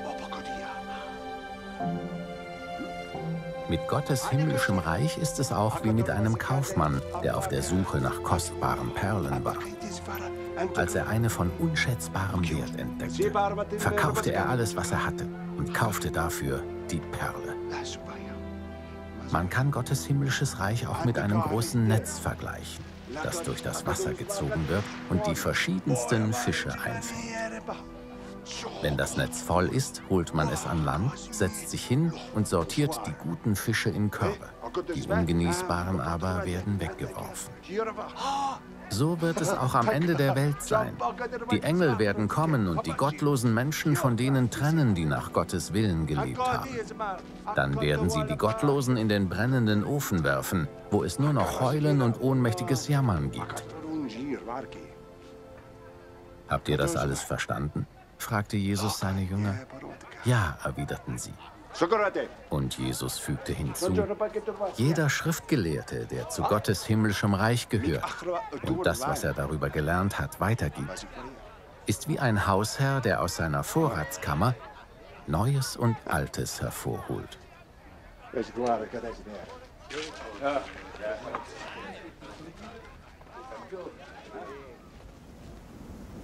Nachdem Jesus diese Gleichnisse erzählt hatte, verließ er die Gegend, kehrte in seinen Heimatort Nazareth zurück und lehrte dort in der Synagoge. Alle waren erstaunt über ihn und fragten, woher hat er diese Weisheit und die Macht, Wunder zu tun?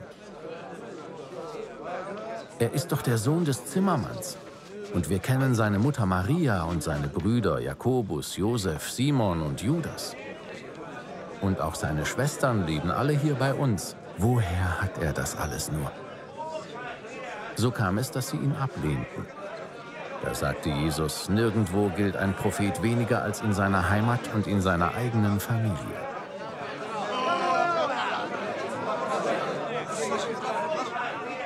Weil die Menschen in Nazareth nicht an Jesus glaubten, tat er dort nur wenige Wunder.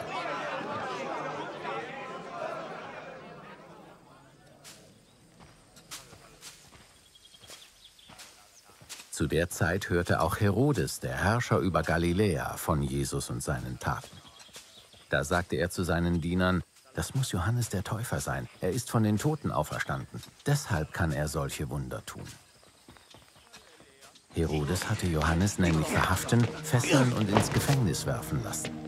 Der Grund dafür war, dass der König die Frau seines eigenen Bruders Philippus geheiratet hatte. Sie hieß Herodias. Daraufhin hatte Johannes ihm vorgehalten, es ist nicht richtig, dass du die Frau deines Bruders geheiratet hast. Herodes hätte Johannes am liebsten umbringen lassen, aber er wagte es nicht, weil er sich vor den vielen Menschen fürchtete, die in Johannes einen Propheten sahen. Als nun Herodes Geburtstag feierte, tanzte die Tochter von Herodias vor den Gästen. Herodes war so begeistert, dass er ihr mit einem Schwur versprach, Bitte mich um was du willst, ich will es dir geben. Von ihrer Mutter angestiftet bat sie den König, dann lass mir sofort den Kopf von Johannes dem Täufer auf einem Teller herbringen. Der König war bestürzt, aber weil er sein Versprechen gegeben hatte, noch dazu vor allen Gästen, willigte er ein und befahl, Johannes im Gefängnis zu enthaupten. Man brachte den Kopf auf einem Teller, überreichte ihn dem Mädchen und die gab ihn ihrer Mutter. Die Jünger von Johannes holten seinen Leichnam und bestatteten ihn. Danach gingen sie zu Jesus und berichteten ihm, was geschehen war. Als Jesus das hörte, fuhr er mit einem Boot in eine entlegene Gegend. Er wollte allein sein. Aber die Leute aus den umliegenden Orten merkten, wohin er gehen wollte, und folgten ihm in Scharen auf dem Landweg. Als Jesus aus dem Boot stieg und die vielen Menschen sah, hatte er Mitleid mit ihnen und heilte ihre Kranken. Gegen Abend kamen die Jünger zu ihm und sagten, es ist spät geworden und die Gegend hier ist einsam. Schickt die Leute weg, damit sie in die Dörfer gehen und dort etwas zu essen kaufen können. Aber Jesus antwortete, das ist nicht nötig, gebt ihr ihnen zu essen. Wir haben doch nur fünf Brote und zwei Fische hier, wandten seine Jünger ein. Dann bringt sie mir her, sagte Jesus.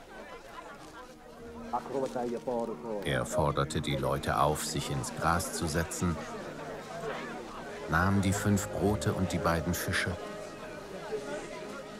sah zum Himmel auf und dankte Gott. Dann teilte er das Brot, reichte es seinen Jüngern und die Jünger gaben es an die Menge weiter.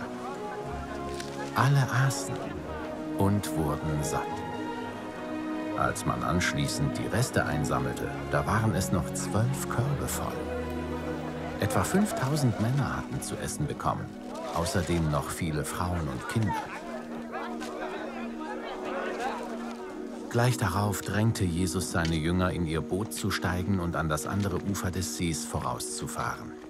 Er selbst blieb zurück, denn er wollte erst noch die Leute verabschieden. Dann ging er auf einen Berg, um ungestört beten zu können. Bei Einbruch der Nacht war er immer noch dort, ganz allein. Die Jünger waren schon weit draußen auf dem See, als ein Sturm heraufzog. Der starke Gegenwind peitschte die Wellen auf und machte dem Boot schwer zu schaffen. In den frühen Morgenstunden kam Jesus über den See zu ihnen. Als die Jünger ihn auf dem Wasser gehen sahen, waren sie zu Tode erschrocken. Es ist ein Gespenst, meinten sie, und schrien voller Entsetzen. Aber Jesus sprach sie sofort an, Habt keine Angst, ich bin es doch, fürchtet euch nicht. Da rief Petrus, Herr, wenn du es wirklich bist, dann befiehl mir, auf dem Wasser zu dir zu kommen. Komm her, antwortete Jesus. Petrus stieg aus dem Boot und ging Jesus auf dem Wasser entgegen. Kaum war er bei ihm, da merkte Petrus, wie heftig der Sturm um sie tobte. Er erschrak und im selben Augenblick begann er zu sinken. Herr, hilf mir, schrie er. Sofort streckte Jesus ihm die Hand entgegen, hielt ihn fest und sagte, Vertraust du mir so wenig, Petrus? Warum hast du gezweifelt?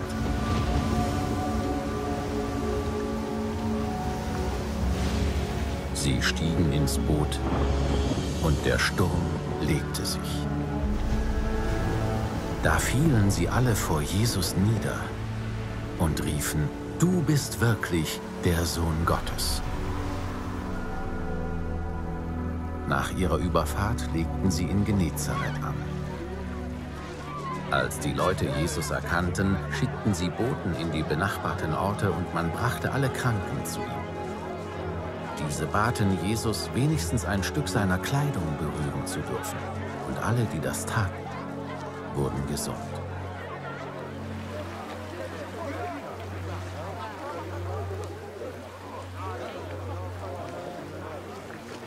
Damals kamen einige Pharisäer und Schriftgelehrte aus Jerusalem zu Jesus und fragten ihn, Weshalb befolgen deine Jünger unsere überlieferten Speisevorschriften nicht? Sie waschen sich nicht einmal vor dem Essen die Hände. Jesus fragte zurück, Und weshalb brecht ihr mit euren Vorschriften die Gebote Gottes? Gott hat doch gesagt, ehre deinen Vater und deine Mutter. Und an anderer Stelle, wer seinen Vater oder seine Mutter verflucht, der muss sterben. Ihr aber behauptet, dass man seinen hilfsbedürftigen Eltern die Unterstützung verweigern darf, wenn man das Geld stattdessen Gott gibt. Dann hätte man Gottes Gebot schon erfüllt und bräuchte nicht weiter für seine Eltern zu sorgen.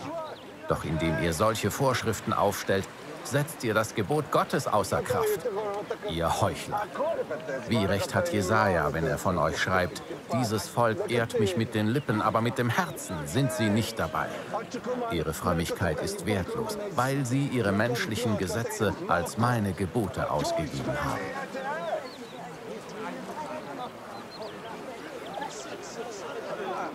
Dann rief Jesus die Menschenmenge zu sich. Hört, was ich euch sage. Und begreift doch, nicht was ein Mensch zu sich nimmt, macht ihn vor Gott unrein, sondern das, was er von sich gibt. Da traten die Jünger an ihn heran und sagten, weißt du, dass du mit deinen Worten die Pharisäer verärgert hast? Jesus entgegnete, jede Pflanze, die nicht von meinem himmlischen Vater gepflanzt worden ist, wird ausgerissen werden. Lasst euch nicht einschüchtern. Sie wollen Blinde führen, sind aber selbst blind. Wenn nun ein Blinder einen anderen Blinden führen will, werden beide in die Grube fallen. Da sagte Petrus, Erklär uns doch noch einmal, was einen Menschen unrein macht. Jesus fragte, selbst ihr habt es immer noch nicht begriffen? Wisst ihr denn nicht, dass alles, was ein Mensch zu sich nimmt, zuerst in den Magen kommt und dann wieder ausgeschieden wird? Aber die bösen Worte, die ein Mensch von sich gibt, kommen aus seinem Herzen. Und sie sind es, die ihn vor Gott unrein machen. Denn aus dem Herzen kommen böse Gedanken wie Mord, Ehebruch, sexuelle Unmoral, Diebstahl, Lüge und Verleumdung. Durch sie wird der Mensch unrein, nicht dadurch, dass man mit ungewaschenen Händen isst.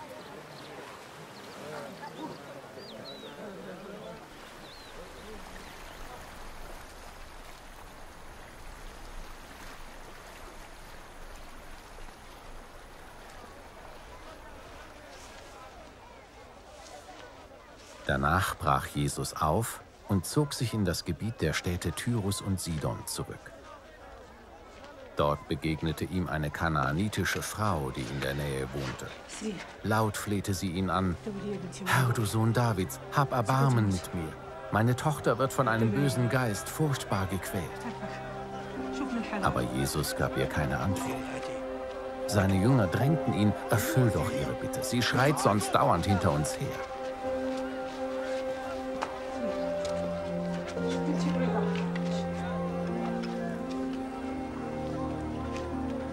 Jesus entgegnete, ich habe nur den Auftrag, den Menschen aus dem Volk Israel zu helfen. Sie sind wie Schafe, die ohne ihren Hirten verloren umherirren. Die Frau aber kam noch näher, warf sich vor ihm nieder und bettelte, Herr, hilf mir! Jesus antwortete wieder, es ist nicht richtig, den Kindern das Brot wegzunehmen und es den Hunden hinzuwerfen. Ja, Herr, erwiderte die Frau. Und doch bekommen die Hunde die Krümel, die vom Tisch ihrer Herren herunterfallen. Da sagte Jesus zu ihr, Dein Glaube ist groß. Was du willst, soll geschehen.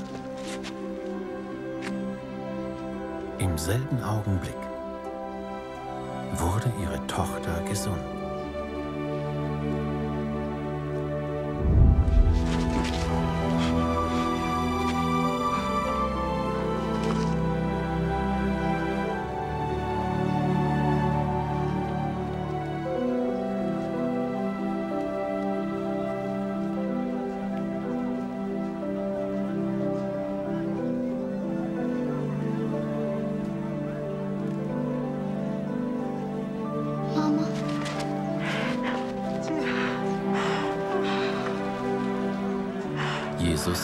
An den See Genezareth zurück.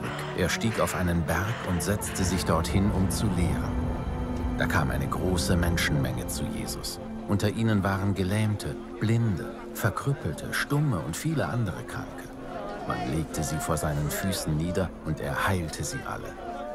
Die Menschen konnten es kaum fassen, als sie sahen, dass Stumme zu reden begannen, Verkrüppelte gesund wurden, Gelähmte umhergingen und Blinde sehen konnten, und sie lobten den Gott Israels.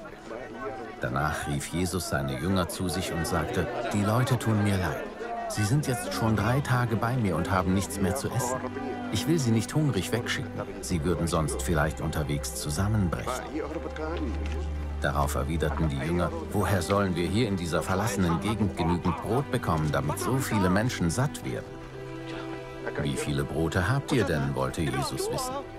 Sie antworteten, sieben Brote und ein paar kleine Fische. Da forderte Jesus die Menschen auf, sich auf den Boden zu setzen. Nun nahm er die sieben Brote und die Fische. Er dankte Gott für das Essen teilte die Brote und Fische und gab sie den Jüngern, die sie an die Leute weiterreichten. Alle aßen und wurden satt. Etwa 4000 Männer hatten zu essen bekommen, außerdem viele Frauen und Kinder.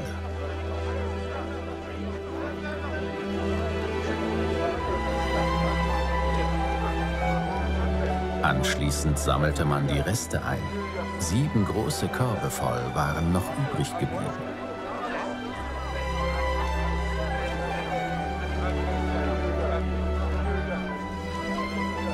Jetzt erst verabschiedete Jesus die Leute nach Hause. Er selbst aber bestieg ein Boot und fuhr in die Gegend von Magadan.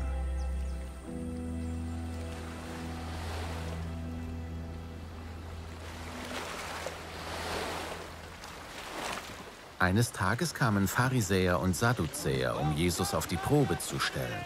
Sie verlangten von ihm ein Wunder als Beweis dafür, dass Gott ihn gesandt hatte. Jesus erwiderte, wenn sich der Himmel abends rot färbt, sagt ihr, morgen wird das Wetter schön. Und wenn er sich morgens rot färbt und trübe aussieht, wisst ihr, heute gibt es schlechtes Wetter. Aus den Zeichen am Himmel könnt ihr das Wetter vorhersagen, aber die Zeichen der Zeit könnt ihr nicht deuten. Was seid ihr nur für eine böse und gottlose Generation? Ihr verlangt nach einem Beweis, doch den werdet ihr nicht bekommen. Ihr und eure Zeitgenossen werdet nur das Wunder sehen, das am Propheten Jona geschah. Mit diesen Worten ließ Jesus sie stehen und ging weg. Als sie an das andere Seeufer gekommen waren, stellten seine Jünger fest, dass sie vergessen hatten, Brot mitzunehmen. Da warnte sie Jesus, hütet euch vor dem Sauerteig der Pharisäer und Sadduzäer. Die Jünger überlegten, was er wohl damit meinte. Das sagt er bestimmt, weil wir kein Brot mitgenommen haben. Jesus merkte, worüber sie sprachen und fragte, weshalb macht ihr euch Gedanken darüber, dass ihr kein Brot habt? Vertraut ihr mir so wenig? Begreift ihr denn immer noch nicht? Habt ihr schon vergessen, dass ich 5000 Menschen mit fünf Broten satt gemacht habe? Und wie viele Körbe habt ihr mit Resten gefüllt? Oder denkt an die sieben Brote, die ich an 4000 Menschen verteilt habe. Wie viele Körbe mit Resten waren es dann? Wie kommt ihr auf den Gedanken, dass ich vom Essen rede, wenn ich euch sage, hütet euch vor dem Sauerteig der Pharisäer und Sadduzäer? Erst jetzt begriffen sie, dass Jesus sie nicht vor dem Sauerteig im Brot gewarnt hatte, sondern vor der Lehre der Pharisäer und Sadduzäer.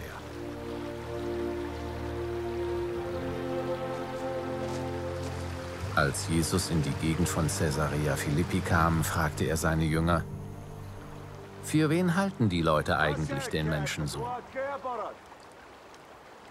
Die Jünger erwiderten, einige meinen, du seist Johannes der Täufer. Manche dagegen halten dich für Elia und manche für Jeremia oder einen anderen Propheten von früher. Und ihr? Für wen haltet ihr mich? fragte er sie. Da antwortete Simon Petrus, du bist der Christus, der von Gott gesandte Retter. Du bist der Sohn des lebendigen Gottes. Du kannst dich wirklich glücklich schätzen, Simon, Sohn von Jona, sagte Jesus. Diese Erkenntnis hat dir mein Vater im Himmel gegeben. Von sich aus kommt ein Mensch nicht zu dieser Einsicht. Ich sage dir, du bist Petrus. Auf diesen Felsen werde ich meine Gemeinde bauen. Und selbst die Macht des Todes wird sie nicht besiegen können. Ich werde dir die Schlüssel zu Gottes himmlischem Reich geben. Was du auf der Erde binden wirst, das soll auch im Himmel gebunden sein. Und was du auf der Erde lösen wirst, das soll auch im Himmel gelöst sein. Darauf verbot er seinen Jüngern streng, jemandem zu sagen, dass er der Christus sei. Danach sprach Jesus mit seinen Jüngern zum ersten Mal offen über das, was ihm bevorstand. Wir müssen nach Jerusalem gehen. Dort werde ich von den führenden Männern des Volkes den obersten Priestern und den Schriftgelehrten vieles zu erleiden haben und getötet werden. Aber am dritten Tag werde ich von den Toten auferstehen. Da nahm ihn Petrus zur Seite, um ihn von diesen Gedanken abzubringen. Herr, das möge Gott verhindern. So etwas darf dir niemals zustoßen. Aber Jesus wandte sich zu ihm und sagte, Weg mit dir, Satan! Du willst mich hindern, meinen Auftrag zu erfüllen. Was du da sagst, ist menschlich gedacht. Aber Gottes Gedanken sind anders.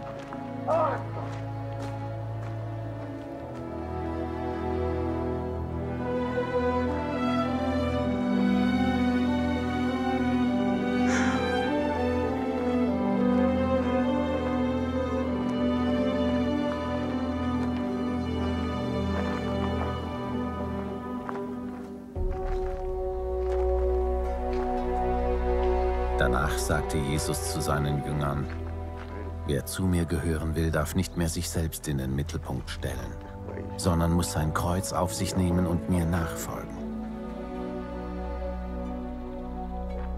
Denn wer sich an sein Leben klammert, der wird es verlieren. Wer aber sein Leben für mich aufgibt, der wird es für immer gewinnen. Was hat ein Mensch denn davon, wenn ihm die ganze Welt zufällt, er selbst dabei aber seine Seele verliert? Er kann sie ja nicht wieder zurückkaufen.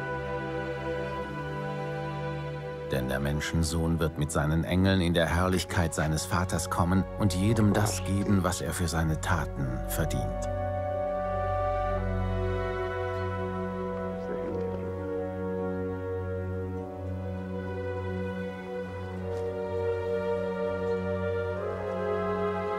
Ich versichere euch, einige von euch, die hier stehen, werden nicht sterben, bevor sie gesehen haben, wie der Menschensohn die Herrschaft antritt.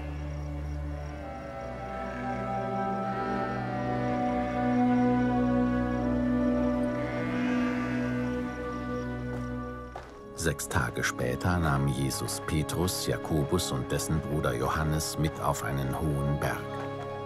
Sie waren dort ganz allein. Da wurde Jesus vor ihren Augen verwandelt. Sein Gesicht leuchtete wie die Sonne und seine Kleider strahlten hell. Dann erschienen plötzlich Mose und Elia und redeten mit Jesus. Petrus rief, Herr, wie gut, dass wir hier sind. Wenn du willst, werde ich hier drei Hütten bauen. Eine für dich, eine für Mose und eine für Elia.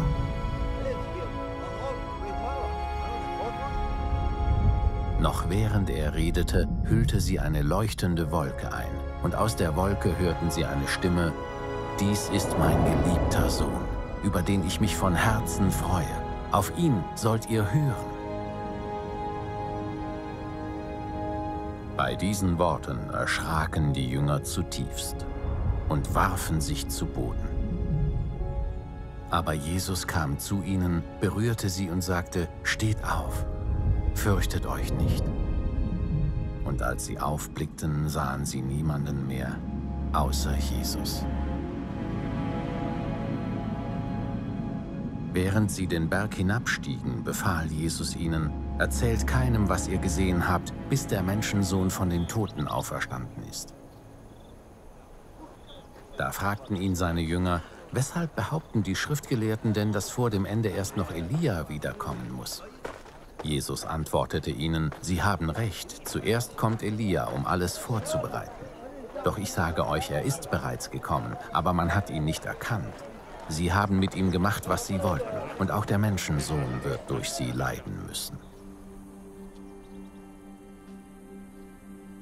Nun verstanden die Jünger, dass er von Johannes dem Täufer sprach.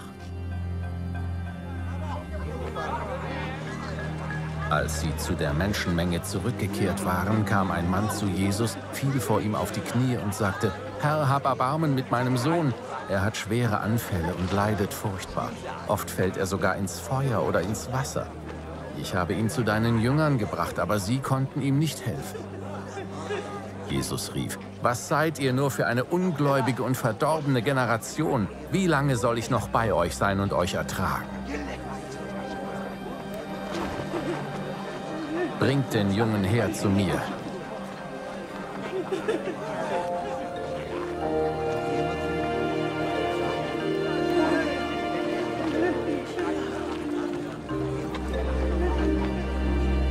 Jesus bedrohte den Dämon, der den Jungen in seiner Gewalt hatte, und dieser verließ den Kranken.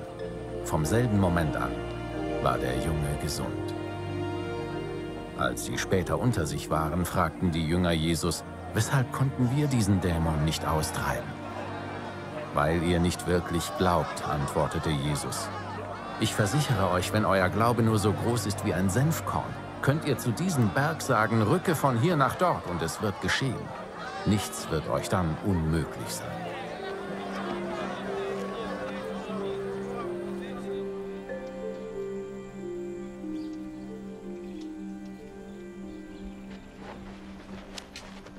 Eines Tages, als Jesus sich mit seinen Jüngern in Galiläa aufhielt, sagte er zu ihnen, der Menschensohn wird bald in der Gewalt der Menschen sein. Sie werden ihn töten. Aber am dritten Tag wird er auferstehen. Da wurden seine Jünger sehr traurig.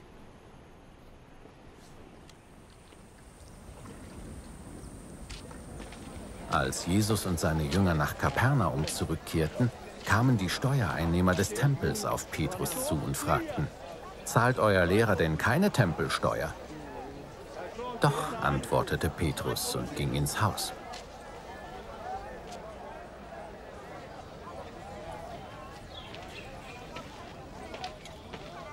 Noch bevor er etwas von dem Vorfall erzählen konnte, fragte Jesus ihn, was meinst du, Simon? Von wem fordern die Könige dieser Erde Abgaben und Steuern?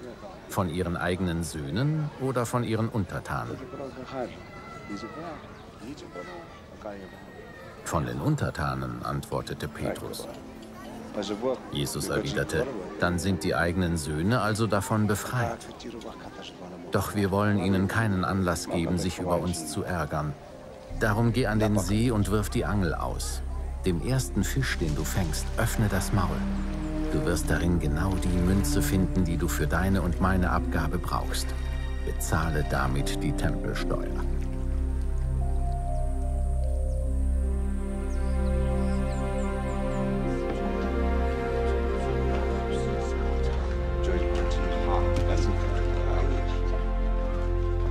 Dieser Zeit kamen die Jünger zu Jesus und fragten ihn, wer ist wohl der Wichtigste in Gottes himmlischem Reich?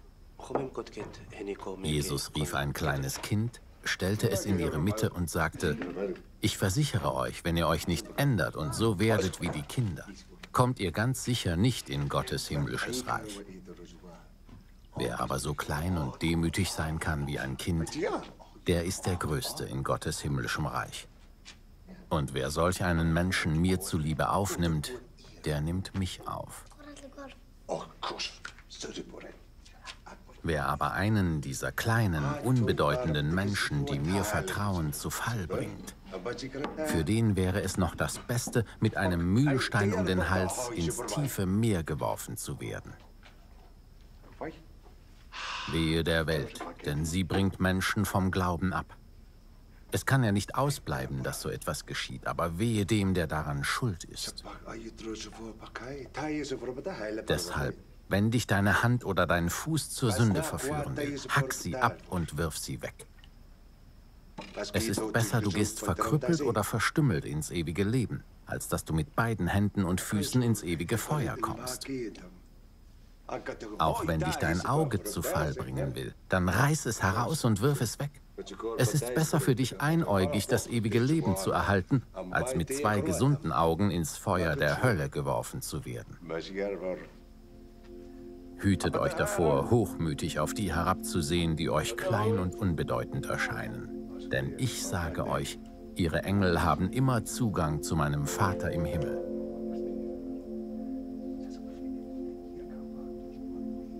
Was meint ihr? Wenn ein Mann 100 Schafe hat und sich eins davon verläuft, was wird er tun? Lässt er nicht die 99 auf ihrer Weide in den Bergen zurück, um das verirrte Schaf zu suchen? Und ich versichere euch, wenn er es dann findet, freut er sich über dieses eine mehr als über die 99, die sich nicht verlaufen haben. Ebenso will euer Vater im Himmel nicht, dass auch nur einer, und sei es der geringste, verloren geht. Wenn dein Bruder oder deine Schwester Schuld auf sich geladen hat, dann geh zu dieser Person hin und stell sie unter vier Augen zur Rede. Wenn sie auf dich hört, hast du deinen Bruder oder deine Schwester zurückgewonnen. Will sie davon nichts wissen, nimm einen oder zwei andere mit, denn durch die Aussage von zwei oder drei Zeugen soll jede Sache entschieden werden. Wenn dein Bruder oder deine Schwester auch dann nicht hören will, bring den Fall vor die Gemeinde.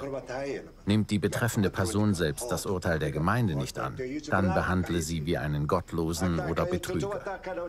Ich versichere euch, was ihr auf der Erde binden werdet, das soll auch im Himmel gebunden sein. Und was ihr auf der Erde lösen werdet, das soll auch im Himmel gelöst sein. Aber auch das sage ich euch. Wenn zwei von euch hier auf der Erde meinen Vater im Himmel um etwas bitten wollen und sich darin einig sind, dann wird er es ihnen geben. Denn wo zwei oder drei in meinem Namen zusammenkommen, bin ich in ihrer Mitte. Da wandte sich Petrus an Jesus und fragte ihn, Herr, wie oft muss ich meinem Bruder oder meiner Schwester vergeben, wenn sie mir Unrecht tun? Ist siebenmal genug? Nein, antwortete ihm Jesus, nicht nur siebenmal sondern 77 Mal. Denn mit Gottes himmlischem Reich ist es wie mit einem König, der mit seinen Verwaltern abrechnen wollte. Als erstes wurde ein Mann vor den König gebracht, der ihm einen Millionenbetrag schuldete. Aber er konnte diese Schuld nicht bezahlen. Deshalb wollte der König ihn, seine Frau, seine Kinder und seinen gesamten Besitz verkaufen lassen, um wenigstens einen Teil seines Geldes zurückzubekommen. Doch der Mann fiel vor dem König nieder und flehte ihn an, Herr, hab noch etwas Geduld, ich will ja alles bezahlen. Da hatte der König Mitleid, er gab ihn frei und erließ ihm seine Schulden. Kaum war der Mann frei, da traf er einen anderen Verwalter, der ihm einen vergleichsweise kleinen Betrag schuldete. Er packte ihn, würgte ihn und schrie, bezahl jetzt endlich deine Schulden. Da fiel der andere vor ihm nieder und bettelte, hab noch etwas Geduld, ich will ja alles bezahlen.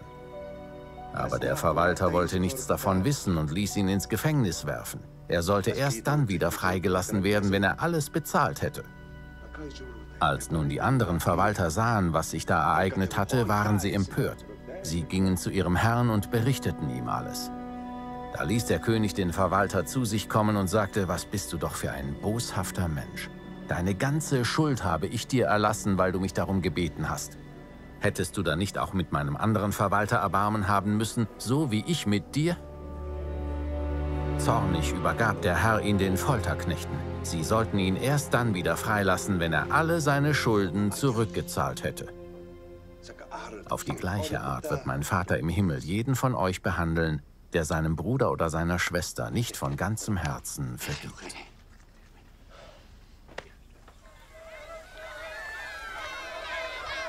Nachdem Jesus das alles gesagt hatte, verließ er Galiläa und kam in das Gebiet von Judäa östlich des Jordan. Eine große Menschenmenge folgte ihm dorthin und er heilte ihre Kranken. Da kamen einige Pharisäer zu Jesus, weil sie ihm eine Falle stellen wollten. Sie fragten ihn, darf sich ein Mann von seiner Frau aus jedem beliebigen Grund scheiden lassen? Jesus antwortete, habt ihr denn nicht gelesen, was in der Heiligen Schrift steht? Da heißt es doch, dass Gott am Anfang die Menschen als Mann und Frau schuf und sagte, ein Mann verlässt seine Eltern und verbindet sich so eng mit seiner Frau, dass die beiden eins sind mit Leib und Seele. Sie sind also eins und nicht länger zwei voneinander getrennte Menschen. Und was Gott zusammengefügt hat, das soll der Mensch nicht scheiden. Doch weshalb, fragten sie weiter, hat Mose dann vorgeschrieben, dass der Mann seiner Frau eine Scheidungsurkunde geben soll, wenn er sie wegschicken will? Jesus antwortete, Mose erlaubte es, dass ihr euch von euren Frauen scheiden lasst, weil er euer hartes Herz kannte. Am Anfang ist es jedoch anders gewesen. Ich sage euch, wer sich von seiner Frau trennt und eine andere heiratet, der begeht Ehebruch, es sei denn, seine Frau hat ihn betrogen.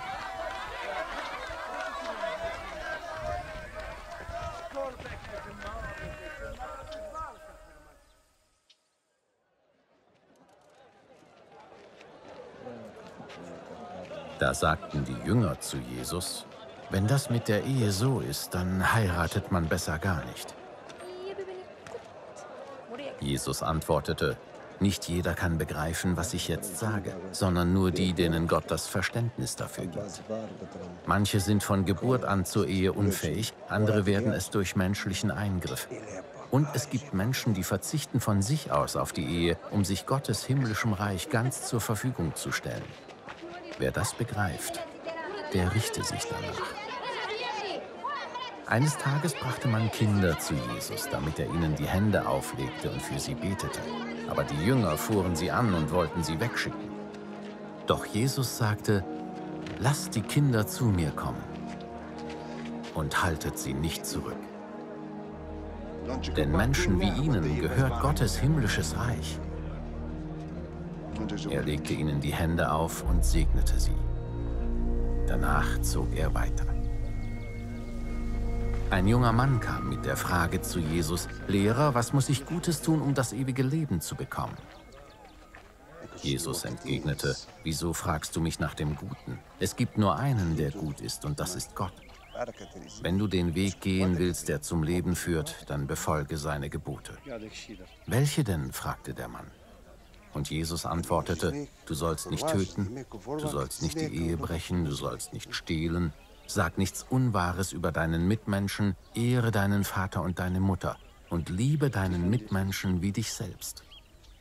An all das habe ich mich gehalten. Was fehlt mir noch, wollte der junge Mann wissen. Jesus antwortete, Wenn du vollkommen sein willst, dann geh, verkaufe alles, was du hast und gib das Geld den Armen. Damit wirst du im Himmel einen Reichtum gewinnen, der niemals verloren geht. Und dann komm und folge mir nach.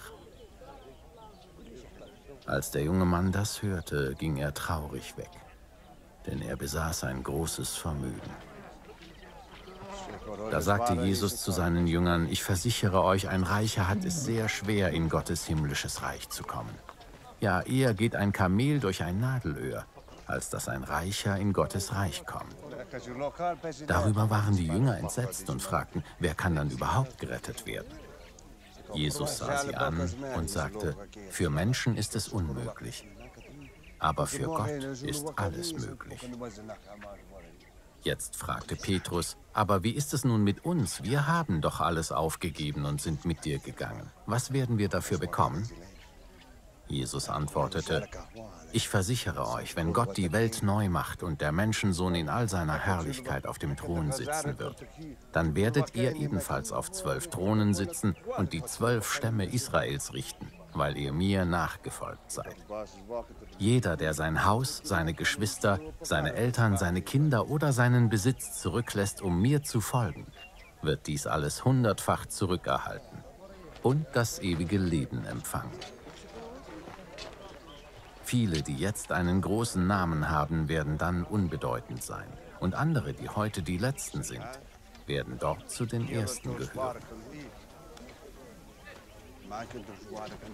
Am Ende wird es in Gottes himmlischem Reich so sein wie bei einem Grundbesitzer, der früh morgens in die Stadt ging und Arbeiter für seinen Weinberg anwarb. Er einigte sich mit ihnen auf den üblichen Tageslohn und schickte sie in seinen Weinberg.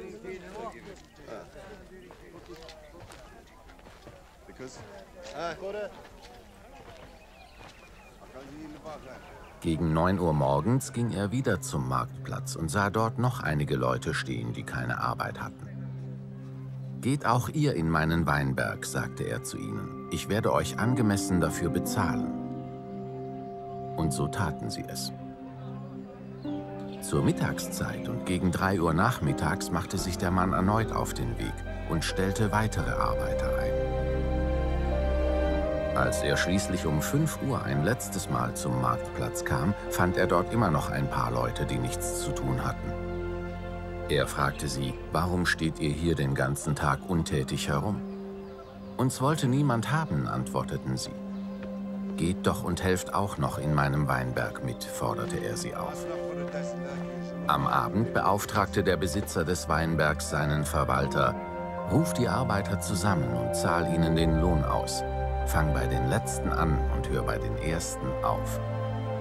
Zuerst kamen also diejenigen, die gegen 5 Uhr eingestellt worden waren, und jeder von ihnen erhielt den vollen Tageslohn.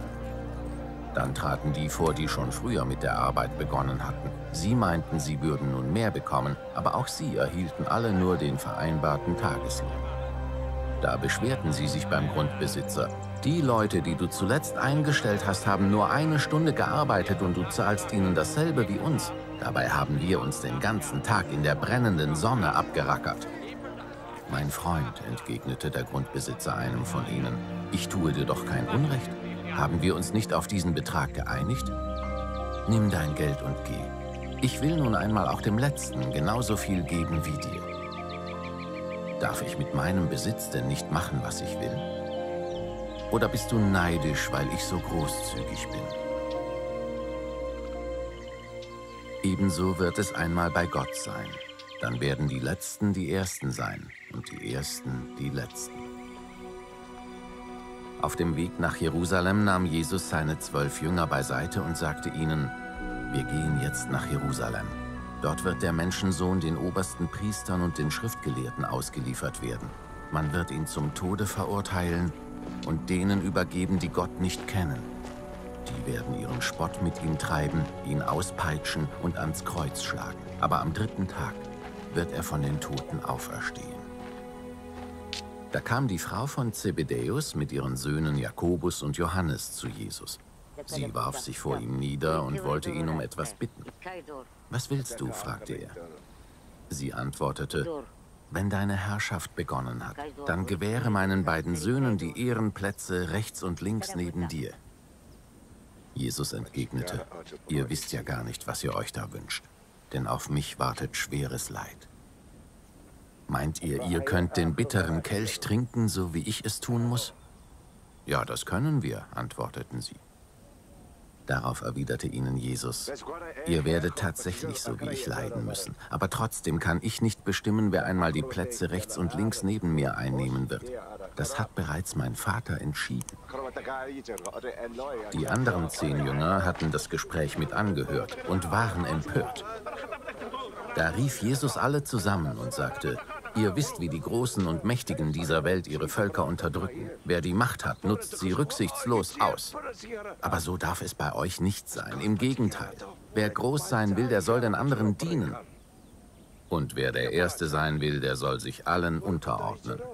Denn auch der Menschensohn ist nicht gekommen, um sich bedienen zu lassen. Er kam, um zu dienen und sein Leben als Lösegeld hinzugeben, damit viele Menschen aus der Gewalt des Bösen befreit werden. Als Jesus und seine Jünger die Stadt Jericho verlassen wollten, zog eine große Menschenmenge mit ihnen. Zwei blinde Männer saßen an der Straße. Als sie hörten, dass Jesus vorüberkam, riefen sie laut, Herr, du Sohn Davids, hab Erbarmen mit uns.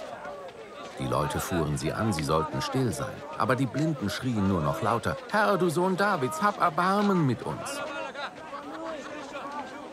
Da blieb Jesus stehen, rief sie zu sich und fragte, was soll ich für euch tun? Herr, flehten ihn die Blinden an, wir möchten sehen können. Jesus hatte Mitleid mit ihnen und berührte ihre Augen.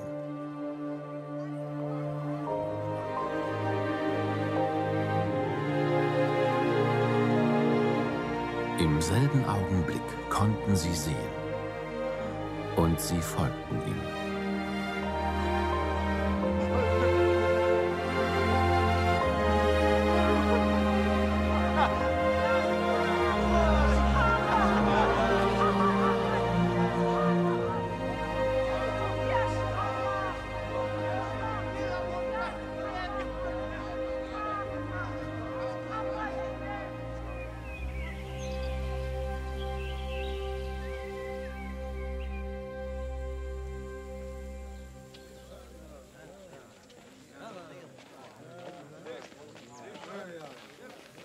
Jesus war mit seinen Jüngern inzwischen in die Nähe von Jerusalem gekommen.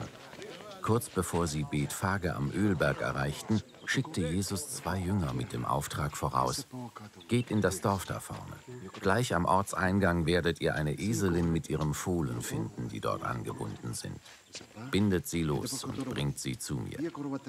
Sollte euch jemand fragen, was ihr da tut, dann antwortet, der Herr braucht sie.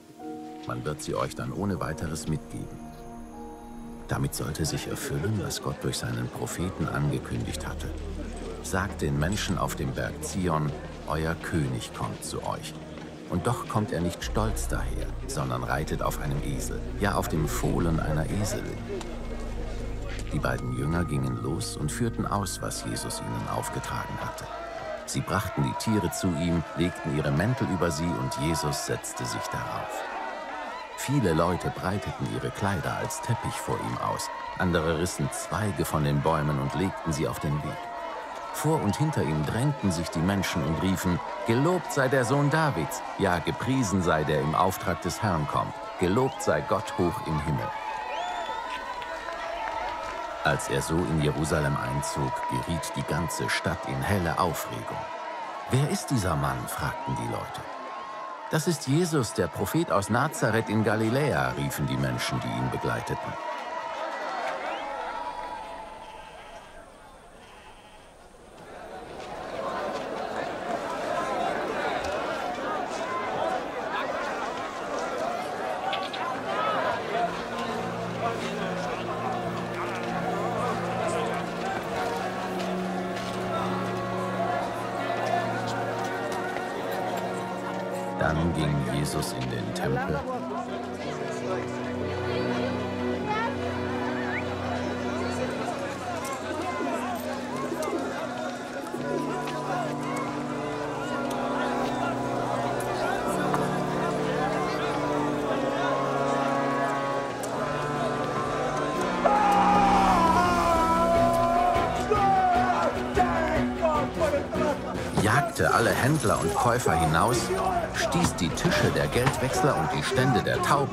Taubenverkäufer um und rief ihnen zu, ihr wisst doch, was Gott in der Heiligen Schrift sagt. Mein Haus soll ein Ort des Gebets sein. Ihr aber macht eine Räuberhöhle daraus.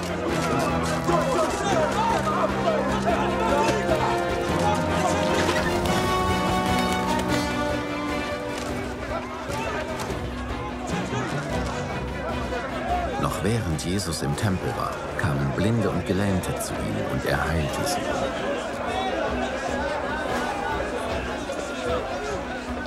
Als die obersten Priester und die Schriftgelehrten seine Wundertaten sahen und die Kinder bemerkten, die auch noch im Tempel riefen, Gelobt sei der Sohn Davids, wurden sie wütend und fragten Jesus, Hörst du eigentlich, was die Kinder da schreien? Ja, ich höre es, antwortete Jesus. Habt ihr denn nie gelesen, aus dem Mund der Kinder und Säuglinge lässt du dein Lob erklingen? Damit ließ er sie stehen und ging aus der Stadt nach Bethanien, um dort zu übernachten.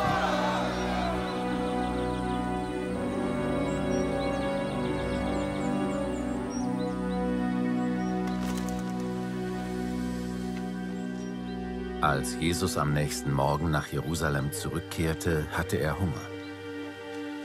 Am Wegrand sah er einen Feigenbaum. Er ging hin, fand aber nichts als Blätter an ihm. Da sagte Jesus zu dem Baum, du sollst in Zukunft nie wieder Feigen tragen.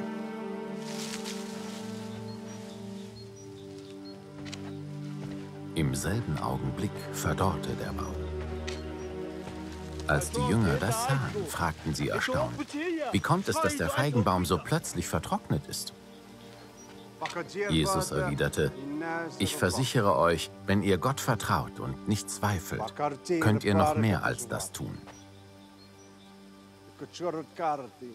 Ihr könnt sogar zu diesem Berg sagen, hebe dich von der Stelle und stürze dich ins Meer.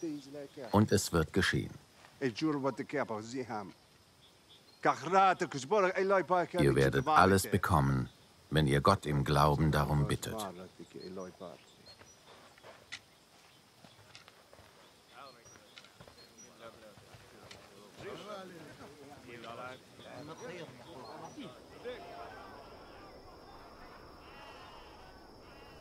Dann ging Jesus in den Tempel und lehrte die Menschen.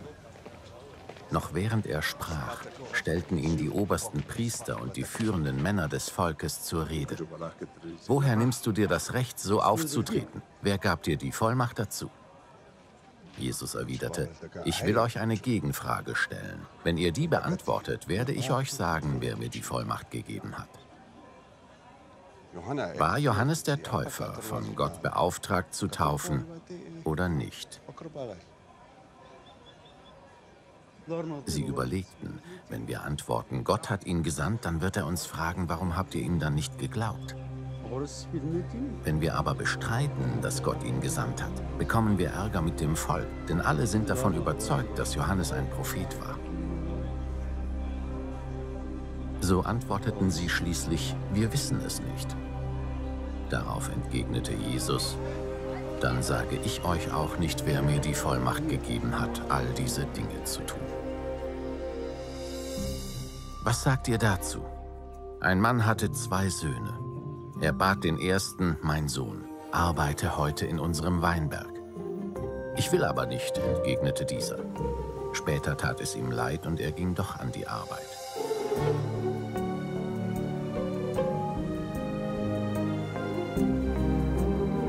Auch den zweiten Sohn forderte der Vater auf, im Weinberg zu arbeiten. Ja, Herr, antwortete der, doch er ging nicht hin. Wer von den beiden Söhnen hat nun getan, was der Vater wollte? Sie antworteten, der Erste natürlich. Da sagte Jesus, ich versichere euch, die betrügerischen Zolleinnehmer und die Huren kommen eher in Gottes Reich als ihr. Johannes der Täufer kam zu euch und zeigte, was Gottes Wille ist, aber ihr habt ihm keinen Glauben geschenkt. Die Zolleinnehmer und Huren dagegen folgten seinem Ruf. Und obwohl ihr das gesehen habt, kamt ihr nicht zur Besinnung und wolltet immer noch nicht auf ihn hören. Hört noch ein anderes Gleichnis. Ein Grundbesitzer legte einen Weinberg an, zäunte ihn ein, stellte eine Weinpresse auf und baute einen Wachturm. Dann verpachtete er den Weinberg an einige Weinbauern und reiste ins Ausland. Als die Zeit der Weinlese kam, beauftragte er seine Knechte, den vereinbarten Anteil an der Ernte abzuholen. Aber die Weinbauern packten die Knechte, schlugen den einen nieder, töteten den anderen und steinigten den dritten. Da beauftragte der Grundbesitzer andere Knechte, noch mehr als beim ersten Mal, aber ihnen erging es nicht besser. Zuletzt sandte er seinen Sohn, weil er sich sagte, vor meinem Sohn werden sie Achtung haben. Als die Weinbauern aber den Sohn kommen sahen, sagten sie zueinander, das ist der Erbe. Los, den bringen wir um und dann gehört der Weinberg uns. Sie packten ihn, stießen ihn aus dem Weinberg hinaus und brachten ihn um. Was meint ihr, wird der Besitzer mit diesen Weinbauern machen, wenn er zurückkehrt? Sie antworteten, er wird diesen Verbrechern ein schreckliches Ende bereiten und den Weinberg an solche Weinbauern verpachten, die ihm zur gegebenen Zeit seinen Anteil abliefern.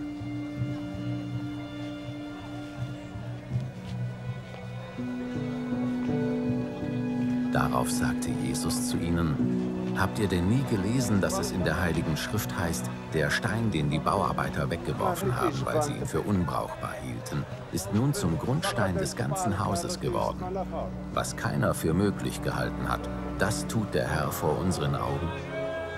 Deshalb sage ich euch, Gottes Reich wird euch weggenommen und einem Volk gegeben werden, das Gott gehorcht. Ja, wer auf diesen Stein fällt, wird sich zu Tode stürzen. Und auf wen der Stein fällt, der wird von ihm zermalmt.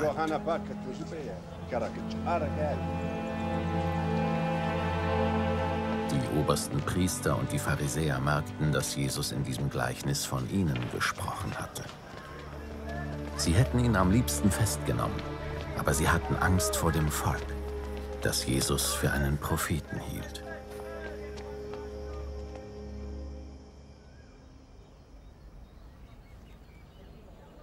Jesus erzählte ihnen noch ein anderes Gleichnis. Mit Gottes himmlischem Reich ist es wie mit einem König, der für seinen Sohn ein großes Hochzeitsfest vorbereitete. Viele wurden zu der Feier eingeladen. Als alles fertig war, schickte der König seine Diener, um die Gäste zum Fest zu bitten. Aber keiner wollte kommen.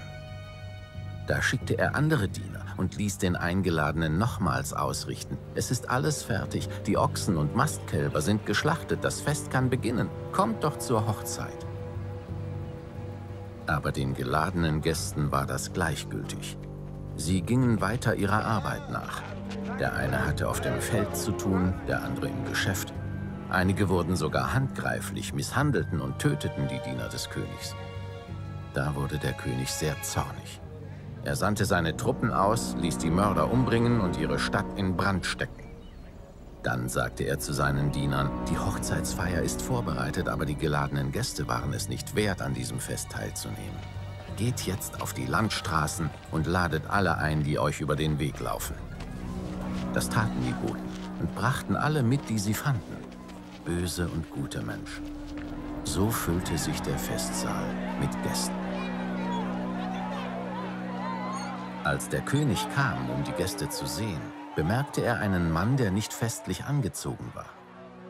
Mein Freund, wie bist du hier ohne Festgewand hereingekommen? fragte er ihn. Darauf konnte der Mann nichts antworten. Da befahl der König seinen Knechten, fesselt ihm Hände und Füße und werft ihn hinaus in die tiefste Finsternis, wo es nur noch Heulen und ohnmächtiges Jammern gibt. Denn viele sind eingeladen, aber nur wenige sind auserwählt.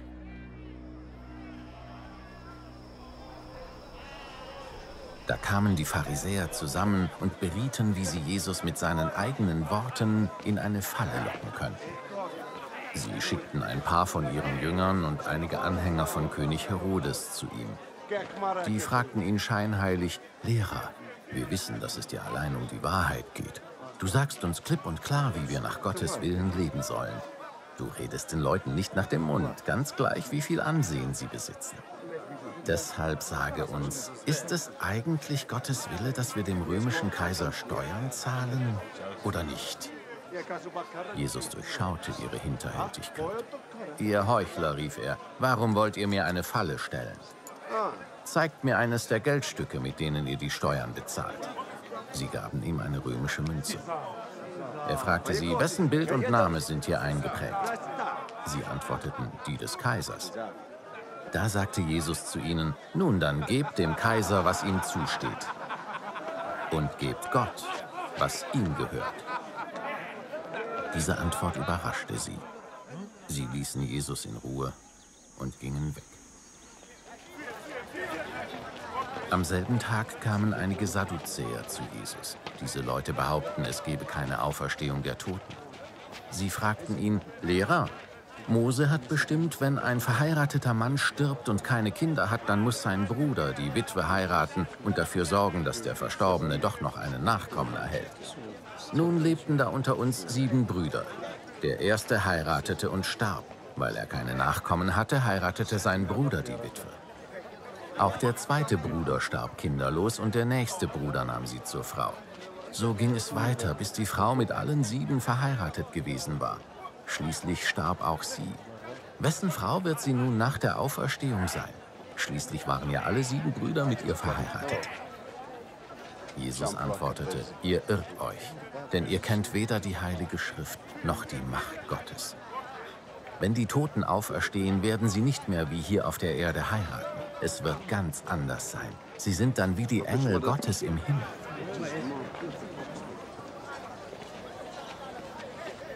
Was nun die Auferstehung der Toten überhaupt betrifft, habt ihr nicht gelesen, was Gott euch in der Heiligen Schrift sagt? Ich bin der Gott Abrahams, Isaaks und Jakobs. Er ist doch nicht ein Gott der Toten, sondern der Lebenden. Die vielen Menschen, die Jesus zugehört hatten, waren tief beeindruckt von dem, was er lehrte. Als die Pharisäer hörten, wie Jesus die Sadduzäer zum Schweigen gebracht hatte, dachten sie sich eine neue Frage aus, um ihm eine Falle zu stellen. Ein Gesetzeslehrer fragte ihn, Lehrer, welches ist das wichtigste Gebot im Gesetz Gottes? Jesus antwortete ihm, Du sollst den Herrn, deinen Gott, lieben von ganzem Herzen, mit ganzer Hingabe und mit deinem ganzen Verstand. Das ist das erste und wichtigste Gebot. Ebenso wichtig ist aber ein zweites. Liebe deinen Mitmenschen wie dich selbst. Alle anderen Gebote und alle Forderungen der Propheten sind in diesen beiden Geboten enthalten. Bei dieser Gelegenheit fragte Jesus die Pharisäer, die sich bei ihm versammelt hatten, was denkt ihr über den Christus, der als Retter zu euch kommen soll? Wessen Nachkomme ist er? Sie antworteten, er ist ein Nachkomme von König David. Da entgegnete Jesus, warum hat David ihn dann geleitet vom Geist Gottes Herr genannt? Denn David sagte, Gott der Herr sprach zu meinem Herrn, setze dich auf den Ehrenplatz an meiner rechten Seite, bis ich dir alle deine Feinde unterworfen habe und du deinen Fuß auf ihren Nacken setzt. Wenn David den Christus also Herr nennt, wie kann er dann Davids Nachkomme sein? Darauf wussten sie keine Antwort und von da an wagte niemand mehr, ihm weitere Fragen zu stellen.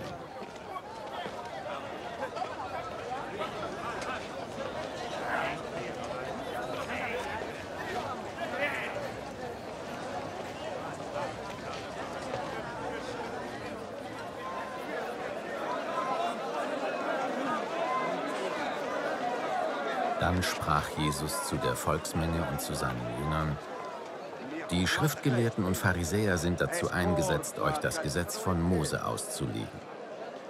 Richtet euch nach ihren Worten und tut alles, was sie euch sagen. Nehmt euch aber kein Beispiel an ihren Taten, denn sie halten selbst nicht ein, was sie von den anderen verlangen. Sie denken sich schwere, fast unerträgliche Forderungen aus und bürden sie den Menschen auf, doch sie selbst rühren keinen Finger, um diese Lasten zu tragen. Mit allem, was sie tun, stellen sie sich zur Schau.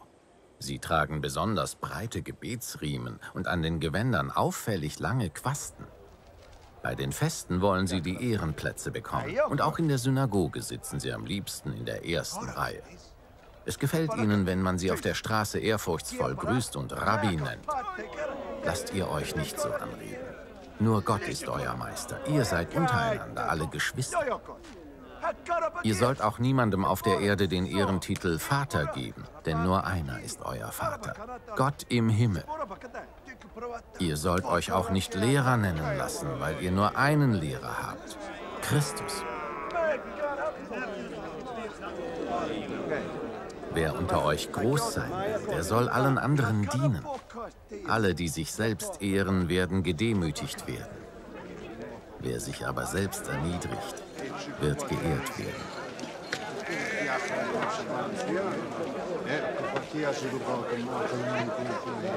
Wehe euch, ihr Schriftgelehrten und Pharisäer, ihr Heuchler. Ihr versperrt anderen den Zugang zu Gottes himmlischem Reich, denn ihr selbst geht nicht hinein und die hineinwollen hindert ihr auch noch daran. Wehe euch, ihr Schriftgelehrten und Pharisäer, ihr Heuchler. Ihr reist in der Welt herum, um nur einen einzigen Nichtjuden dafür zu gewinnen, eure Gesetze anzuerkennen. Und wenn ihr einen gefunden habt, dann wird er durch euch zu einem Anwärter auf die Hölle, der euch an Bosheit noch übertrifft. Wehe euch. Ihr wollt andere führen und seid doch selbst blind. So behauptet ihr beim Tempel Gottes schwören, das hat nichts zu bedeuten, aber wer beim Gold im Tempel schwört, der muss seinen Eid halten. Ihr blinden Narren. Was ist denn wichtiger, das Gold oder der Tempel, durch den das Gold erst geheiligt wird?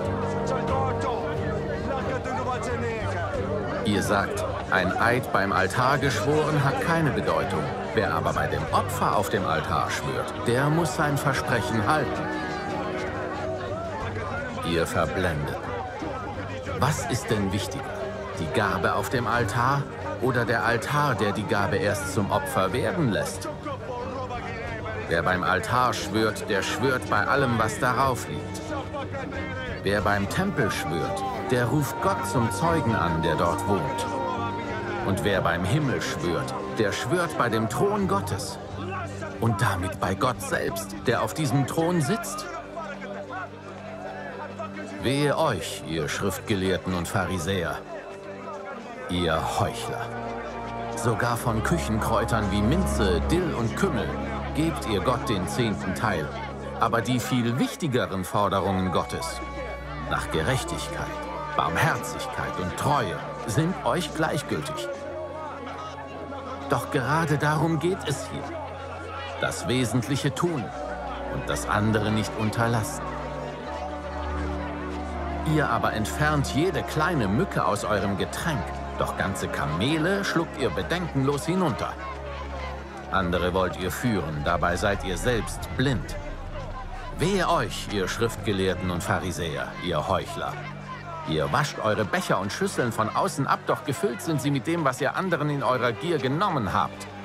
Ihr blinden Verführer, reinigt eure Becher erst einmal von innen. Dann wird auch ihr Äußeres sauber sein. Wehe euch, ihr Schriftgelehrten und Pharisäer, ihr Heuchler, ihr seid wie die weißgetünchten Grabstätten. Von außen erscheinen sie schön, aber innen ist alles voll stinkender Verwesung.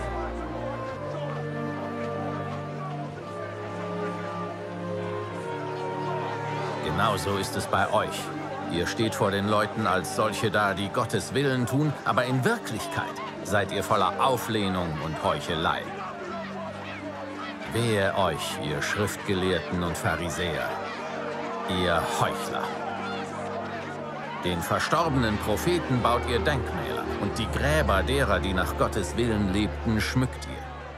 Dazu behauptet ihr noch, wenn wir damals gelebt hätten, wir hätten die Propheten nicht umgebracht wie unsere Vorfahren. Damit gebt ihr also selbst zu, dass ihr die Nachkommen der Prophetenmörder seid. Ja, weiter so macht das Maß eurer Väter nur voll.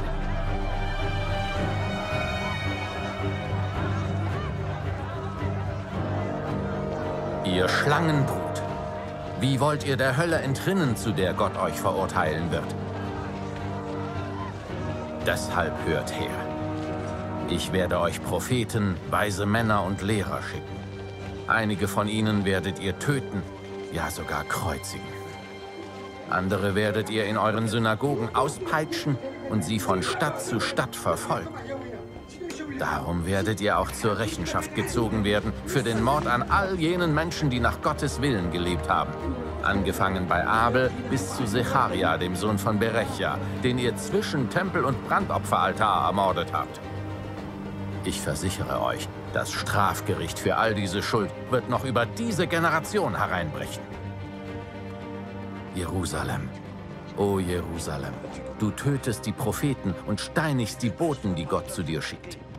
Wie oft schon wollte ich deine Bewohner um mich sammeln, so wie eine Henne ihre Küken unter ihre Flügel nimmt.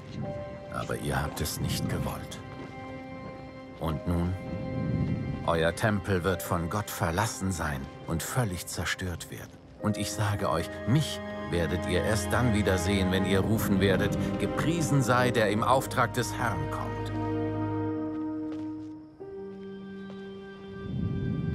Jesus verließ den Tempel und wandte sich zum Gehen. Da kamen seine Jünger und wollten ihm die riesigen Ausmaße der Tempelanlage zeigen. Ihr bestaunt das alles, nicht wahr? sagte Jesus zu ihnen. Aber ich versichere euch, kein Stein wird hier auf dem anderen bleiben. Alles wird nur noch ein großer Trümmerhaufen sein.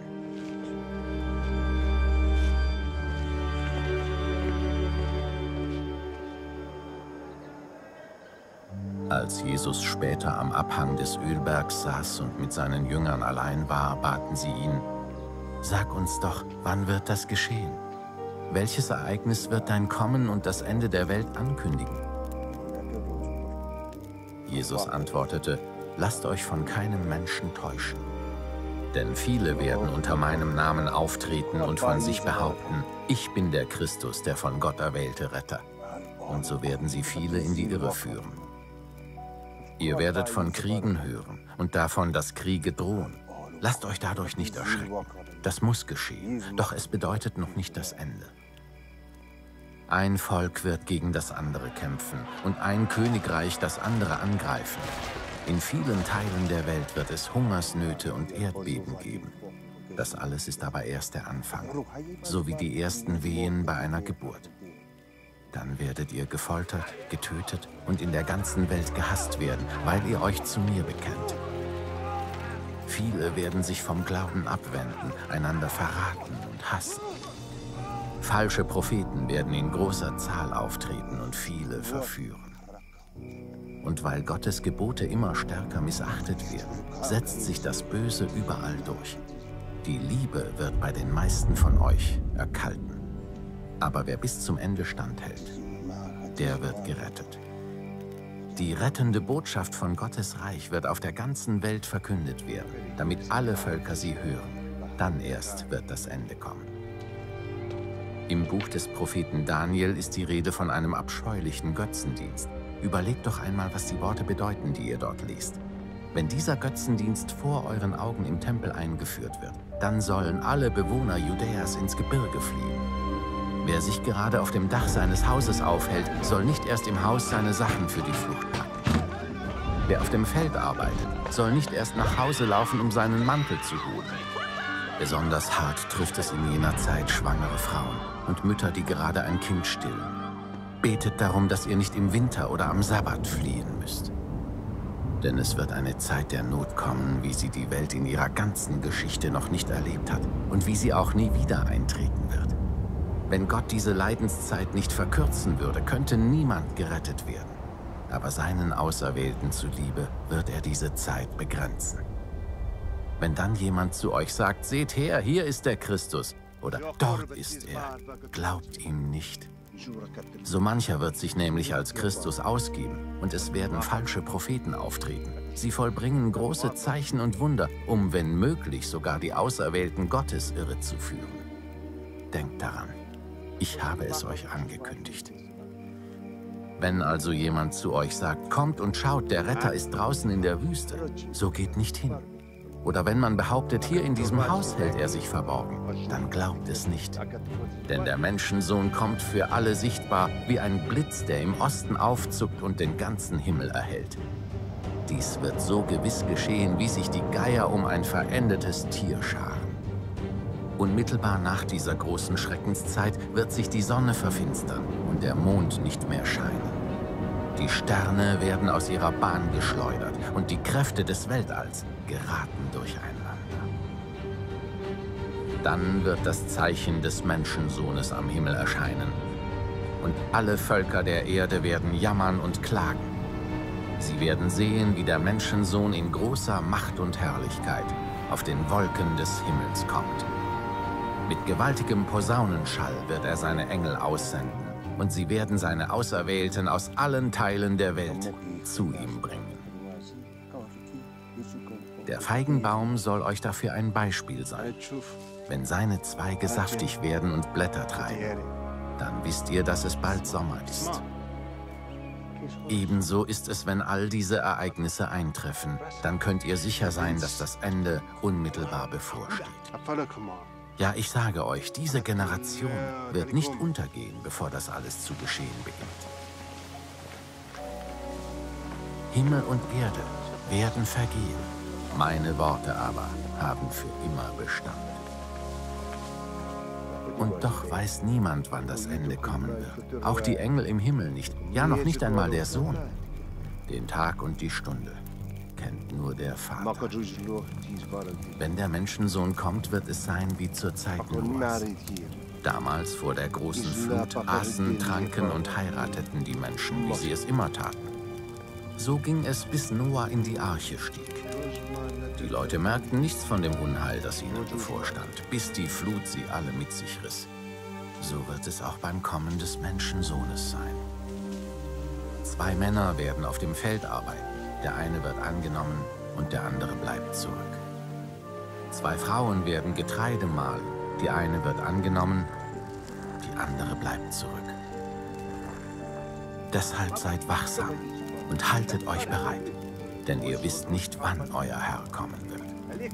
Eins ist euch doch klar, wenn der Hausherr wüsste, wann ein Dieb bei ihm einbrechen will, würde er wach bleiben und sich vor dem Einbrecher schützen. Seid also zu jeder Zeit bereit, denn der Menschensohn wird gerade dann kommen, wenn ihr am wenigsten damit rechnet. Wie verhält sich denn ein kluger und zuverlässiger Verwalter, fragte Jesus die Jünger. Angenommen, sein Herr hat ihm die Verantwortung für die übrige Dienerschaft übertragen und ihn beauftragt, jedem rechtzeitig sein Essen auszuteilen. Dieser Verwalter darf sich glücklich schätzen, wenn sein Herr dann zurückkehrt und ihn gewissenhaft bei der Arbeit findet. Ich versichere euch, einem so zuverlässigen Mann wird er die Verantwortung für seinen ganzen Besitz übertragen. Wenn jener Verwalter aber unzuverlässig ist und im Stillen denkt, ach was, es dauert bestimmt noch lange, bis mein Herr kommt, und er fängt an, die anderen Diener zu prügeln, sich den Bauch vollzuschlagen und Trinkgelage zu veranstalten. Dann wird die Rückkehr seines Herrn ihn völlig überraschen, denn sein Herr kommt, wenn er nicht damit rechnet. Er wird den Verwalter hart bestrafen und ihm den Lohn geben, den die Heuchler verdienen. Er wird ihn hinausstoßen, dorthin, wo es nur noch Heulen und ohnmächtiges Jammern gibt. Wenn der Menschensohn kommt, wird es in seinem himmlischen Reich sein wie bei zehn Brautjungfern, die bei einer Hochzeit dem Bräutigam mit ihren Lampen entgegengingen. Fünf von ihnen verhielten sich klug, die anderen waren leichtfertig und dumm. Die klugen Mädchen hatten sich nämlich vorher mit ausreichend Öl für ihre Lampen versorgt. Die anderen fünf dachten überhaupt nicht daran, einen Vorrat an Öl mitzunehmen. Als sich die Ankunft des Bräutigams verzögerte, wurden sie alle müde und schliefen ein. Plötzlich um Mitternacht wurden sie mit dem Ruf geweckt, der Bräutigam kommt, geht und begrüßt ihn. Da sprangen die Mädchen auf und bereiteten ihre Lampen vor. Die fünf, die nicht genügend Öl hatten, baten die anderen, gebt uns etwas von eurem Öl, unsere Lampen gehen aus. Aber die Klugen antworteten, das können wir nicht. Unser Öl reicht gerade für uns selbst. Geht doch zu einem Händler und kauft euch welches. Da gingen sie los in der Zwischenzeit kam der Bräutigam und die Mädchen, die darauf vorbereitet waren, begleiteten ihn in den Festsaal. Dann wurde die Tür verschlossen. Später kamen auch die fünf anderen. Sie standen draußen und riefen, Herr, mach uns doch die Tür auf. Aber er erwiderte, was wollt ihr denn? Ich kenne euch nicht. Deshalb seid wachsam und haltet euch bereit denn ihr wisst weder an welchem Tag noch zu welchem Zeitpunkt der Menschensohn kommen wird. Es wird dann so sein wie bei einem Mann, der vorhatte, ins Ausland zu reisen. Er rief alle seine Verwalter zusammen und vertraute ihnen sein Vermögen an. Sie sollten während seiner Abwesenheit gut damit wirtschaften. Dem einen gab er fünf Zentner Silberstücke, einem anderen zwei und dem dritten einen Zentner, jedem nach seinen Fähigkeiten. Danach reiste er ab. Der Mann mit den fünf Zentnern Silberstücke machte sich sofort daran, mit dem Geld Geschäfte zu treiben und konnte so die Summe verdoppeln. Auch der die zwei Zentner bekommen hatte, verdiente zwei hinzu. Der dritte aber vergrub den Zentner, den sein Herr ihm anvertraut hatte, an einem sicheren Ort. Nach langer Zeit kehrte der Herr von seiner Reise zurück und forderte seine Diener auf, mit ihm abzurechnen.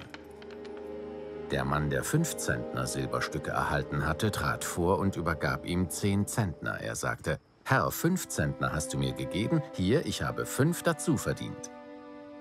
Da lobte ihn sein Herr. Gut so, du bist ein tüchtiger und zuverlässiger Verwalter. In kleinen Dingen bist du treu gewesen, darum werde ich dir Großes anvertrauen. Komm zu meinem Fest und freu dich mit mir. Danach kam der Mann mit den zwei Zentnern. Er berichtete, Herr, ich habe den Betrag, den du mir gegeben hast, verdoppeln können. Da lobte ihn der Herr, gut gemacht, du bist ein tüchtiger und zuverlässiger Verwalter. In kleinen Dingen bist du treu gewesen, darum werde ich dir Großes anvertrauen. Komm zu meinem Fest und freu dich mit mir. Schließlich kam der Diener, dem der Herr einen Zentner Silberstücke gegeben hatte, und erklärte, ich kenne dich als strengen Herrn und dachte, du erntest, was andere gesät haben. Du nimmst dir, wofür du nichts getan hast. Aus Angst habe ich dein Geld sicher aufbewahrt. Hier hast du es wieder zurück. Zornig antwortete ihm darauf sein Herr, was bist du nur für ein böser und fauler Verwalter? Wenn du schon der Meinung bist, dass ich ernte, was andere gesät haben und mir nehme, wofür ich nichts getan habe, hättest du mein Geld wenigstens bei einer Bank anlegen können hätte ich immerhin noch Zinsen dafür bekommen. Nehmt ihm das Geld weg und gebt es dem, der die zehn Zentner hat. Denn wer viel hat, der bekommt noch mehr dazu. Ja, er wird mehr als genug haben. Wer aber nichts hat, dem wird selbst noch das wenige, das er hat, genommen. Und jetzt werft diesen Nichtsnutz hinaus in die tiefste Finsternis, wo es nur noch Heulen und ohnmächtiges Jammern gibt.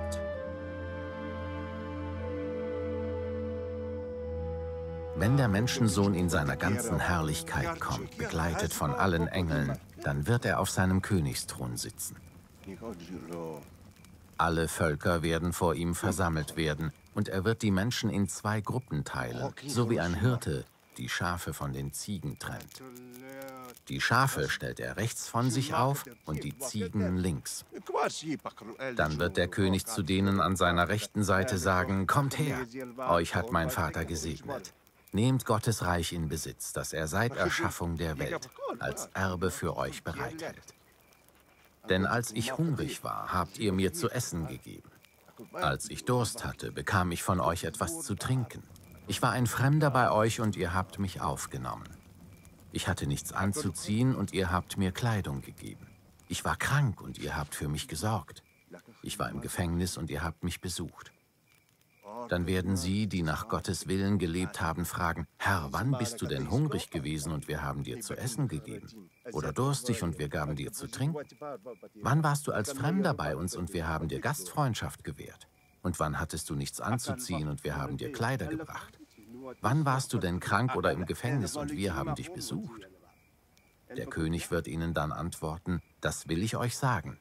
Was ihr für einen meiner geringsten Brüder oder für eine meiner geringsten Schwestern getan habt, das habt ihr für mich getan.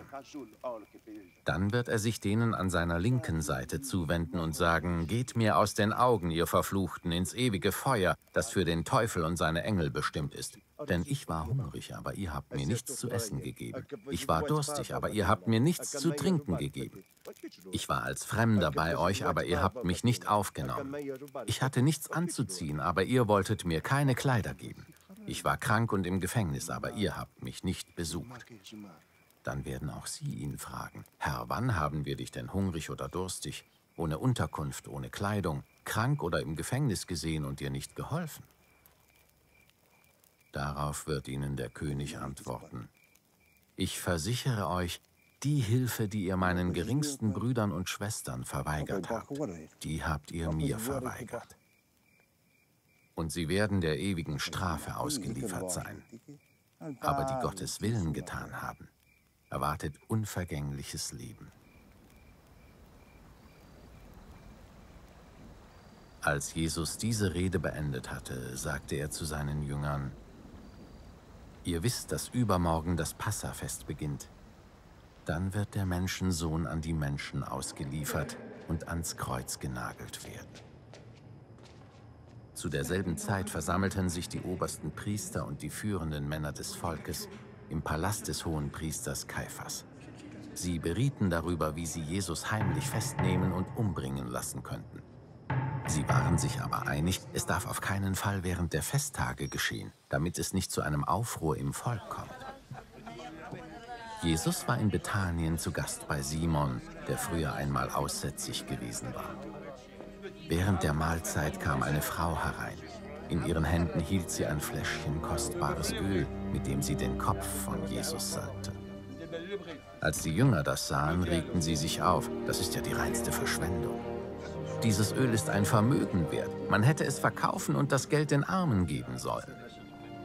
Als Jesus ihren Ärger bemerkte, sagte er, Warum macht ihr der Frau Schwierigkeiten? Sie hat etwas Gutes für mich getan. Arme, die eure Hilfe nötig haben, wird es immer geben. Ich dagegen bin nicht mehr lange bei euch. Indem sie das Öl auf mich goss, hat sie meinen Körper für mein Begräbnis vorbereitet. Ich versichere euch, überall in der Welt, wo Gottes rettende Botschaft verkündet wird, wird man auch von dieser Frau sprechen und von dem, was sie getan hat.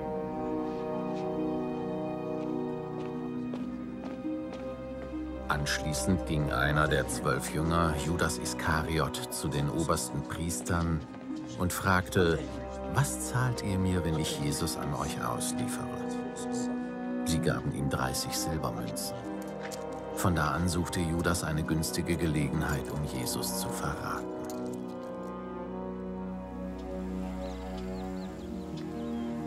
Am ersten Tag des Festes der ungesäuerten Brote kamen die Jünger zu Jesus und fragten, wo sollen wir für dich das Passamal vorbereiten? Jesus schickte sie zu einem bestimmten Mann in die Stadt und gab ihnen den Auftrag, geht zu ihm hin und teilt ihm mit, dass die Zeit für euren Lehrer gekommen ist.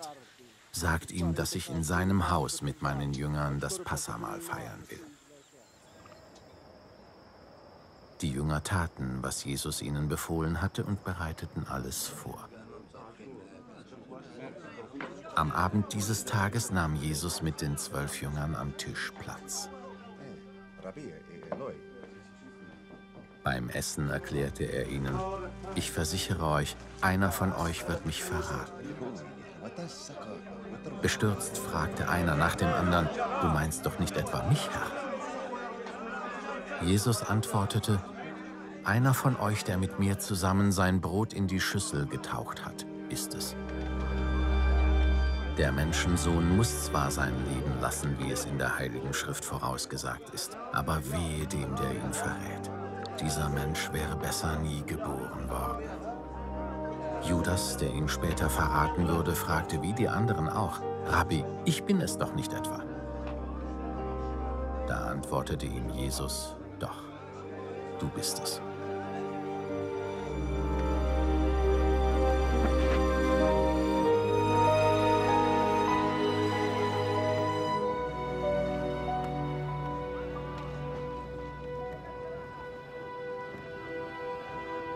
Sie aßen, nahm Jesus ein Brot, sprach das Dankgebet, brach das Brot in Stücke und gab es seinen Jüngern mit den Worten, Nehmt und esst.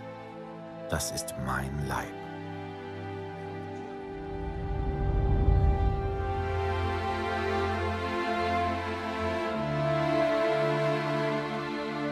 Anschließend nahm er einen Becher Wein, dankte Gott und reichte ihn seinen Jüngern. Trinkt alle daraus. Das ist mein Blut, mit dem der neue Bund zwischen Gott und den Menschen besiegelt wird. Es wird zur Vergebung ihrer Sünden vergossen. Ich sage euch, von jetzt an werde ich keinen Wein mehr trinken, bis ich ihn wieder im Reich meines Vaters mit euch trinken werde. Nachdem sie das Danklied gesungen hatten, gingen sie hinaus an den Ölberg. Unterwegs sagte Jesus zu seinen Jüngern, in dieser Nacht werdet ihr euch alle von mir abwenden. Denn in der Heiligen Schrift steht, ich werde den Hirten erschlagen und die Schafe werden auseinanderlaufen. Aber nach meiner Auferstehung werde ich nach Galiläa gehen und dort werdet ihr mich wiedersehen. Da beteuerte Petrus, wenn sich auch alle anderen von dir abwenden, ich halte auf jeden Fall zu dir. Doch Jesus erwiderte ihm, ich versichere dir, in dieser Nacht, noch ehe der Hahn kräht, wirst du dreimal geleugnet haben, mich zu kennen. Auch wenn es bedeutet, dass ich mit dir sterben muss, werde ich das niemals tun, rief Petrus. Alle anderen Jünger beteuerten dies ebenfalls.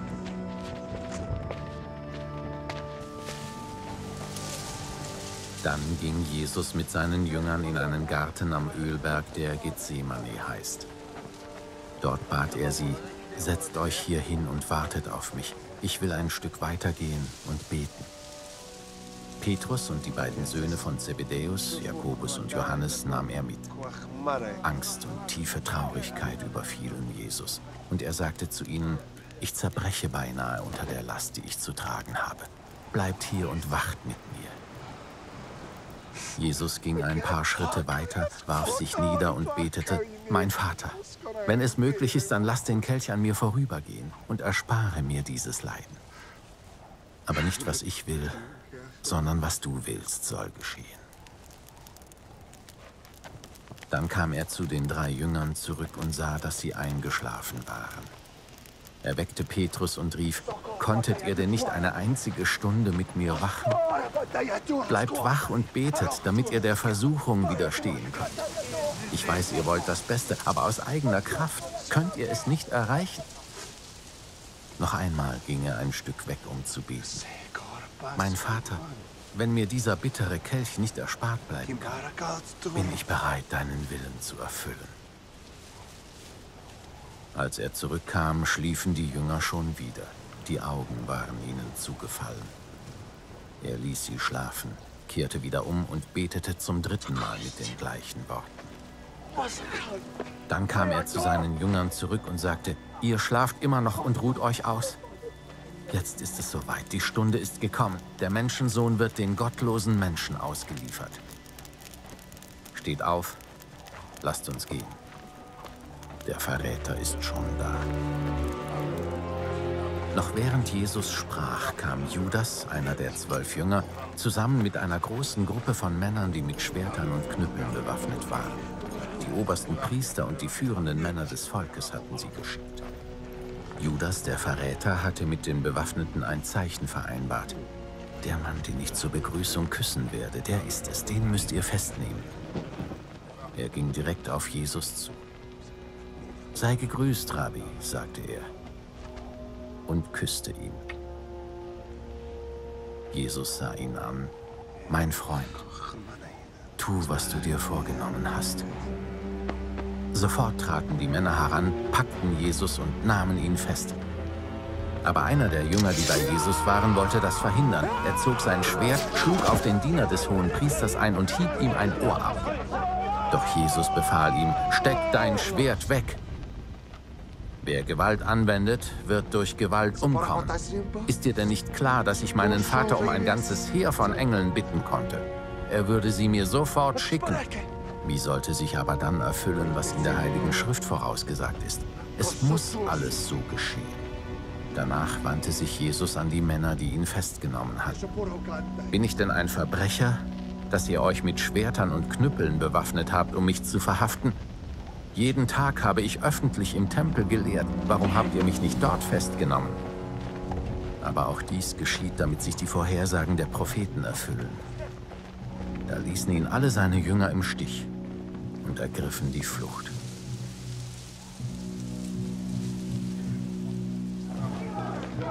Die Männer, die Jesus festgenommen hatten, brachten ihn zu Kaiphas, dem hohen Priester und Vorsitzenden des Hohen Rates. Bei ihm hatten sich die Schriftgelehrten und die führenden Männer des Volkes versammelt. In sicherem Abstand folgte ihnen Petrus bis in den Innenhof des hohepriesterlichen Palastes. Dort setzte er sich zu den Dienern, um zu beobachten, was mit Jesus geschehen würde.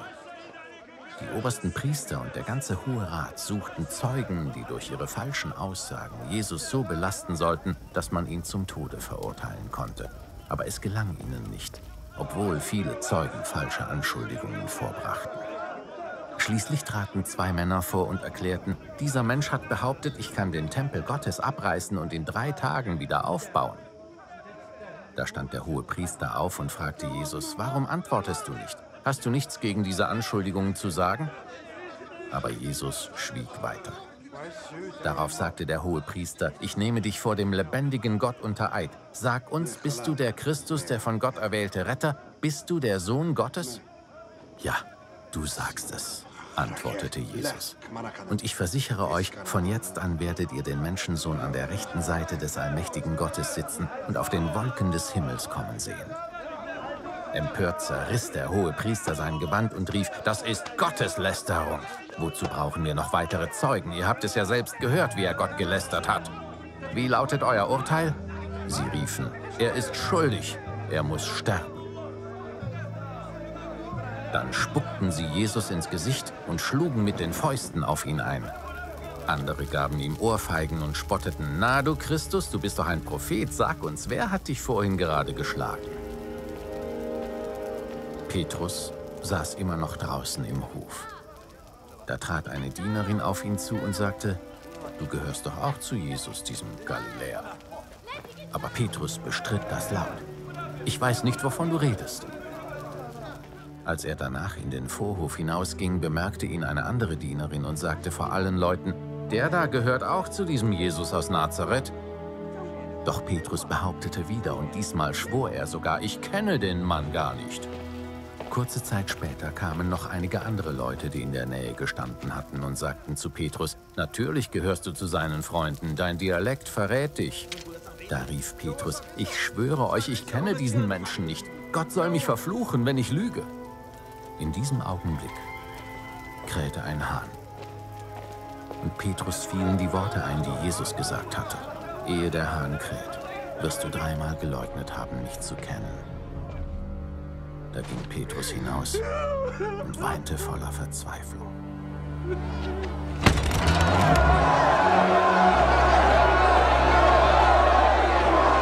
Am frühen Morgen fassten die obersten Priester und die führenden Männer des Volkes gemeinsam den Beschluss, Jesus hinrichten zu lassen. Sie ließen ihn gefesselt abführen und übergaben ihn Pilatus, dem römischen Statthalter. Als Judas, der Verräter, sah, dass Jesus zum Tode verurteilt werden sollte, tat es ihm leid, was er getan hatte. Er brachte den obersten Priestern und den führenden Männern des Volkes die 30 Silbermünzen zurück. Ich habe Unrecht getan und einen Unschuldigen verraten, bekannte er. Was geht uns das an, gaben sie ihm zur Antwort. Das ist deine Sache. Dann nahm Judas das Geld und warf es in den Tempel. Dann lief er fort und erhängte sich. Die obersten Priester nahmen die Münzen an sich, waren aber der Meinung, dieses Geld dürfen wir nicht in den Tempelschatz legen, weil Blut daran klebt. Nachdem sie die Sache besprochen hatten, beschlossen sie, mit dem Geld eine Tongrube zu kaufen und einen Friedhof für die Fremden daraus zu machen. Noch heute heißt dieser Friedhof deshalb Blutacker. Auf diese Weise erfüllte sich, was Gott durch den Propheten Jeremia gesagt hatte. Sie nahmen die 30 Silberstücke, so viel war er dem Volk Israel wert, und kauften das Land von den Töpfern, wie der Herr es mir befohlen hatte. Jesus wurde dem römischen Statthalter Pilatus vorgeführt, der fragte ihn, Bist du der König der Juden? Jesus antwortete, Ja, du sagst es. Als nun die obersten Priester und die führenden Männer des Volkes ihre Anklagen gegen ihn vorbrachten, schwieg Jesus. Hörst du denn nicht, was sie dir alles vorwerfen? fragte Pilatus. Aber Jesus erwiderte kein Wort. Darüber wunderte sich Pilatus sehr.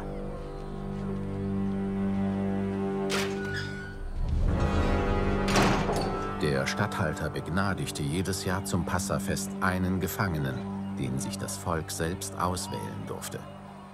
In diesem Jahr saß ein berüchtigter Verbrecher im Gefängnis. Er hieß Barabbas. Als sich nun die Menschenmenge vor dem Haus von Pilatus versammelt hatte, fragte er sie, wen soll ich diesmal begnadigen? Barabbas oder Jesus, den manche für den Christus halten? Denn Pilatus wusste genau, dass das Verfahren gegen Jesus nur aus Neid angezettelt worden war. Während Pilatus die Gerichtsverhandlung leitete, ließ ihm seine Frau eine Nachricht zukommen. Unternimm nichts gegen diesen Mann, er ist unschuldig. Ich habe seinetwegen in der letzten Nacht einen furchtbaren Traum gehabt. Inzwischen aber hatten die obersten Priester und die führenden Männer des Volkes die Menge aufgewiegelt. Sie sollten von Pilatus verlangen, Barabbas zu begnadigen und Jesus umzubringen. Als der Statthalter nun seine Frage wiederholte, wen von den beiden soll ich freilassen, schrie die Menge Barabbas. Und was soll mit Jesus geschehen, dem angeblichen Christus? Da riefen sie alle, ans Kreuz mit ihm! Was für ein Verbrechen hat er denn begangen? fragte Pilatus. Doch die Menge schrie immer lauter, ans Kreuz mit ihm! Als Pilatus sah, dass er so nichts erreichte und der Tumult nur immer größer wurde, ließ er eine Schüssel mit Wasser bringen. Für alle sichtbar wusch er sich die Hände und sagte, ich bin nicht schuld daran, wenn das Blut dieses Menschen vergossen wird. Die Verantwortung dafür tragt ihr. Die Menge erwiderte, ja, wir und unsere Kinder, wir tragen die Folgen. Da gab Pilatus ihnen Barabbas frei. Jesus ließ er auspeitschen und zur Kreuzigung abführen. Die Soldaten brachten Jesus in den Hof des Statthalterpalastes und riefen die ganze Truppe zusammen.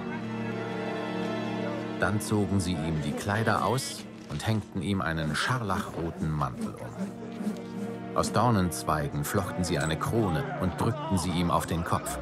Sie gaben ihm einen Stock in die rechte Hand, knieten vor ihm nieder und riefen höhnisch, es lebe der König der Juden. Sie spuckten ihn an, nahmen ihm den Stock wieder aus der Hand und schlugen ihm damit auf den Kopf. Nachdem sie so ihren Spott mit ihm getrieben hatten, zogen sie ihm den roten Mantel aus und legten ihm seine eigenen Kleider wieder an. Dann führten sie Jesus ab zur Kreuzigung.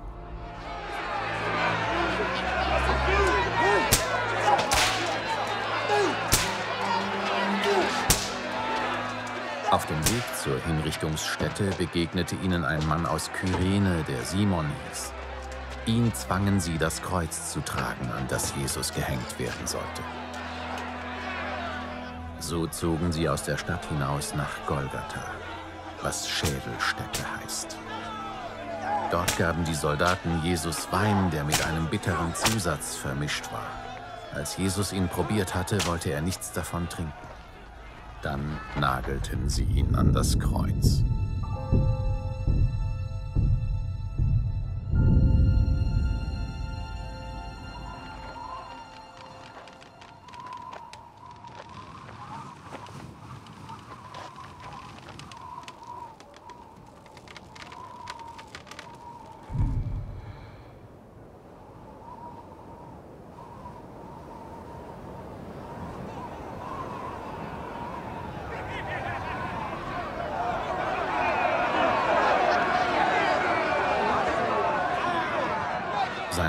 Kleider teilten sie unter sich auf und warfen das Los darum.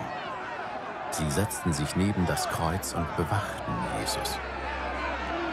Über seinem Kopf brachten sie ein Schild an, auf dem stand, weshalb man ihn verurteilt hatte. Das ist Jesus, der König der Juden. Mit Jesus wurden zwei Verbrecher gekreuzigt, der eine rechts, der andere links von ihm. Die Leute, die am Kreuz vorübergingen, verspotteten ihn und schüttelten verächtlich den Kopf. Den Tempel wolltest du abreißen und in drei Tagen wieder aufbauen? Dann rette dich doch selber. Komm vom Kreuz herunter, wenn du wirklich der Sohn Gottes bist. Auch die obersten Priester, die Schriftgelehrten und führenden Männer des Volkes verhöhnten Jesus. Anderen hat er geholfen, aber sich selbst kann er nicht helfen. Wenn er wirklich der König von Israel ist, soll er doch vom Kreuz heruntersteigen. Dann wollen wir an ihn glauben. Er hat sich doch immer auf Gott verlassen. Jetzt wollen wir sehen, ob Gott ihn wirklich liebt und ihm hilft. Schließlich hat er behauptet, ich bin Gottes Sohn. Ebenso beschimpften ihn die beiden Verbrecher, die mit ihm gekreuzigt worden waren. Am Mittag wurde es plötzlich im ganzen Land dunkel. Diese Finsternis dauerte drei Stunden.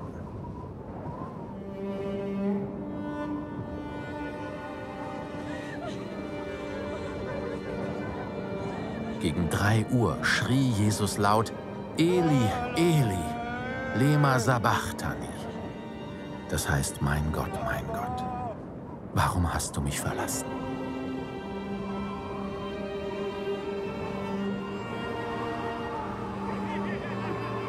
Einige von den Umstehenden aber meinten, der ruft den Propheten Elia.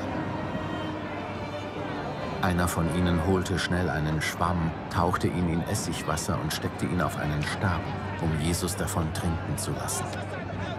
Aber die anderen sagten, lass doch, wir wollen sehen, ob Elia kommt und ihm hilft.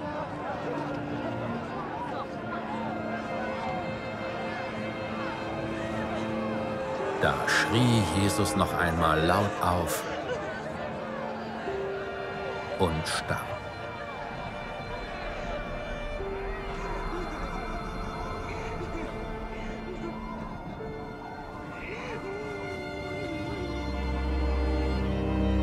Im selben Augenblick zerriss im Tempel der Vorhang vor dem Allerheiligsten von oben bis unten.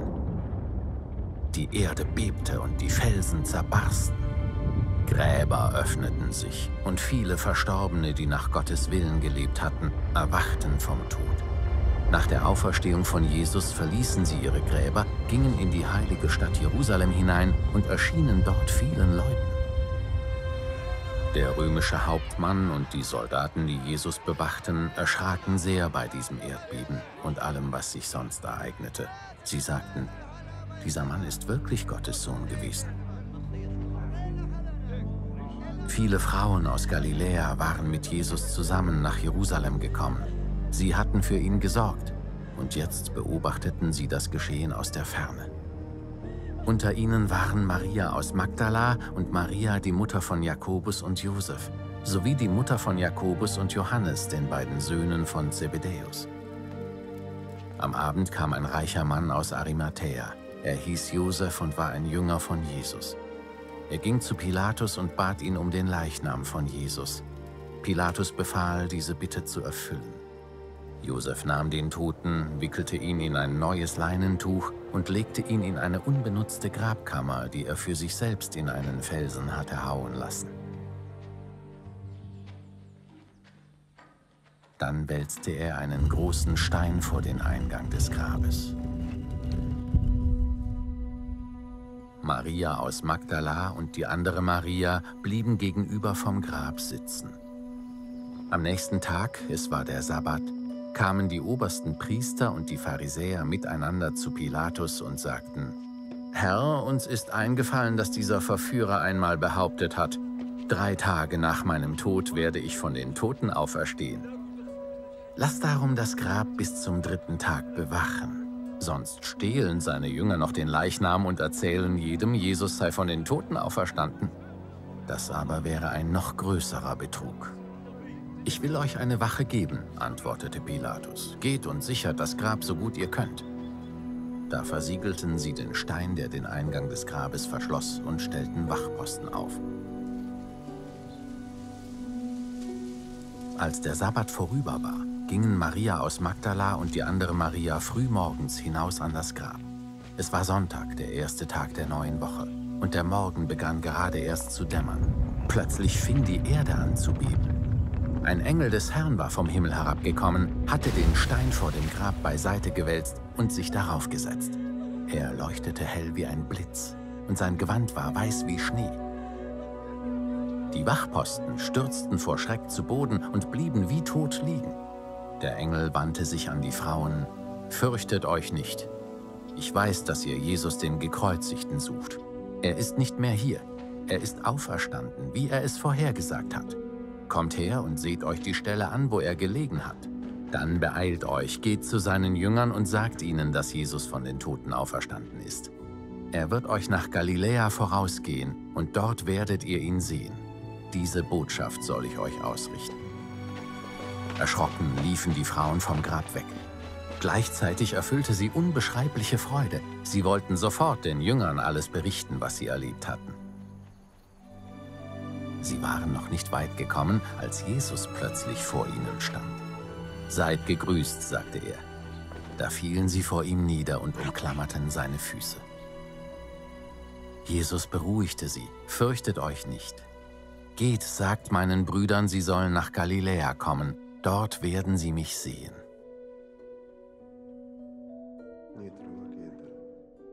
Noch während die Frauen auf dem Weg waren, liefen einige der Wachsoldaten zu den obersten Priestern in die Stadt und berichteten alles, was geschehen war. Diese berieten mit den führenden Männern des Volkes, was sie nun tun sollten. Schließlich gaben sie den Soldaten viel Geld und sagten zu ihnen, erzählt einfach, in der Nacht, als wir schliefen, sind seine Jünger gekommen und haben den Toten gestohlen. Auch versprachen sie ihnen, wenn der Statthalter davon erfährt, werden wir mit ihm reden und dafür sorgen, dass euch nichts passiert. Die Soldaten nahmen das Geld und hielten sich an die Anweisung. So hat sich diese Geschichte bei den Juden herumgesprochen und wird noch heute erzählt. Die elf Jünger gingen nach Galiläa zu dem Berg, den Jesus ihnen genannt hatte. Als sie ihn dort sahen, fielen sie vor ihm nieder. Einige aber hatten Zweifel. Da ging Jesus auf seine Jünger zu und sprach, Ich habe von Gott alle Macht im Himmel und auf der Erde erhalten.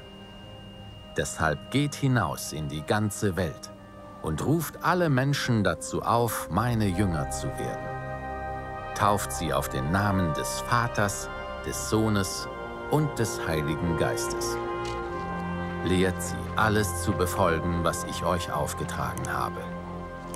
Ihr dürft sicher sein, ich bin immer bei euch, bis das Ende dieser Welt gekommen ist.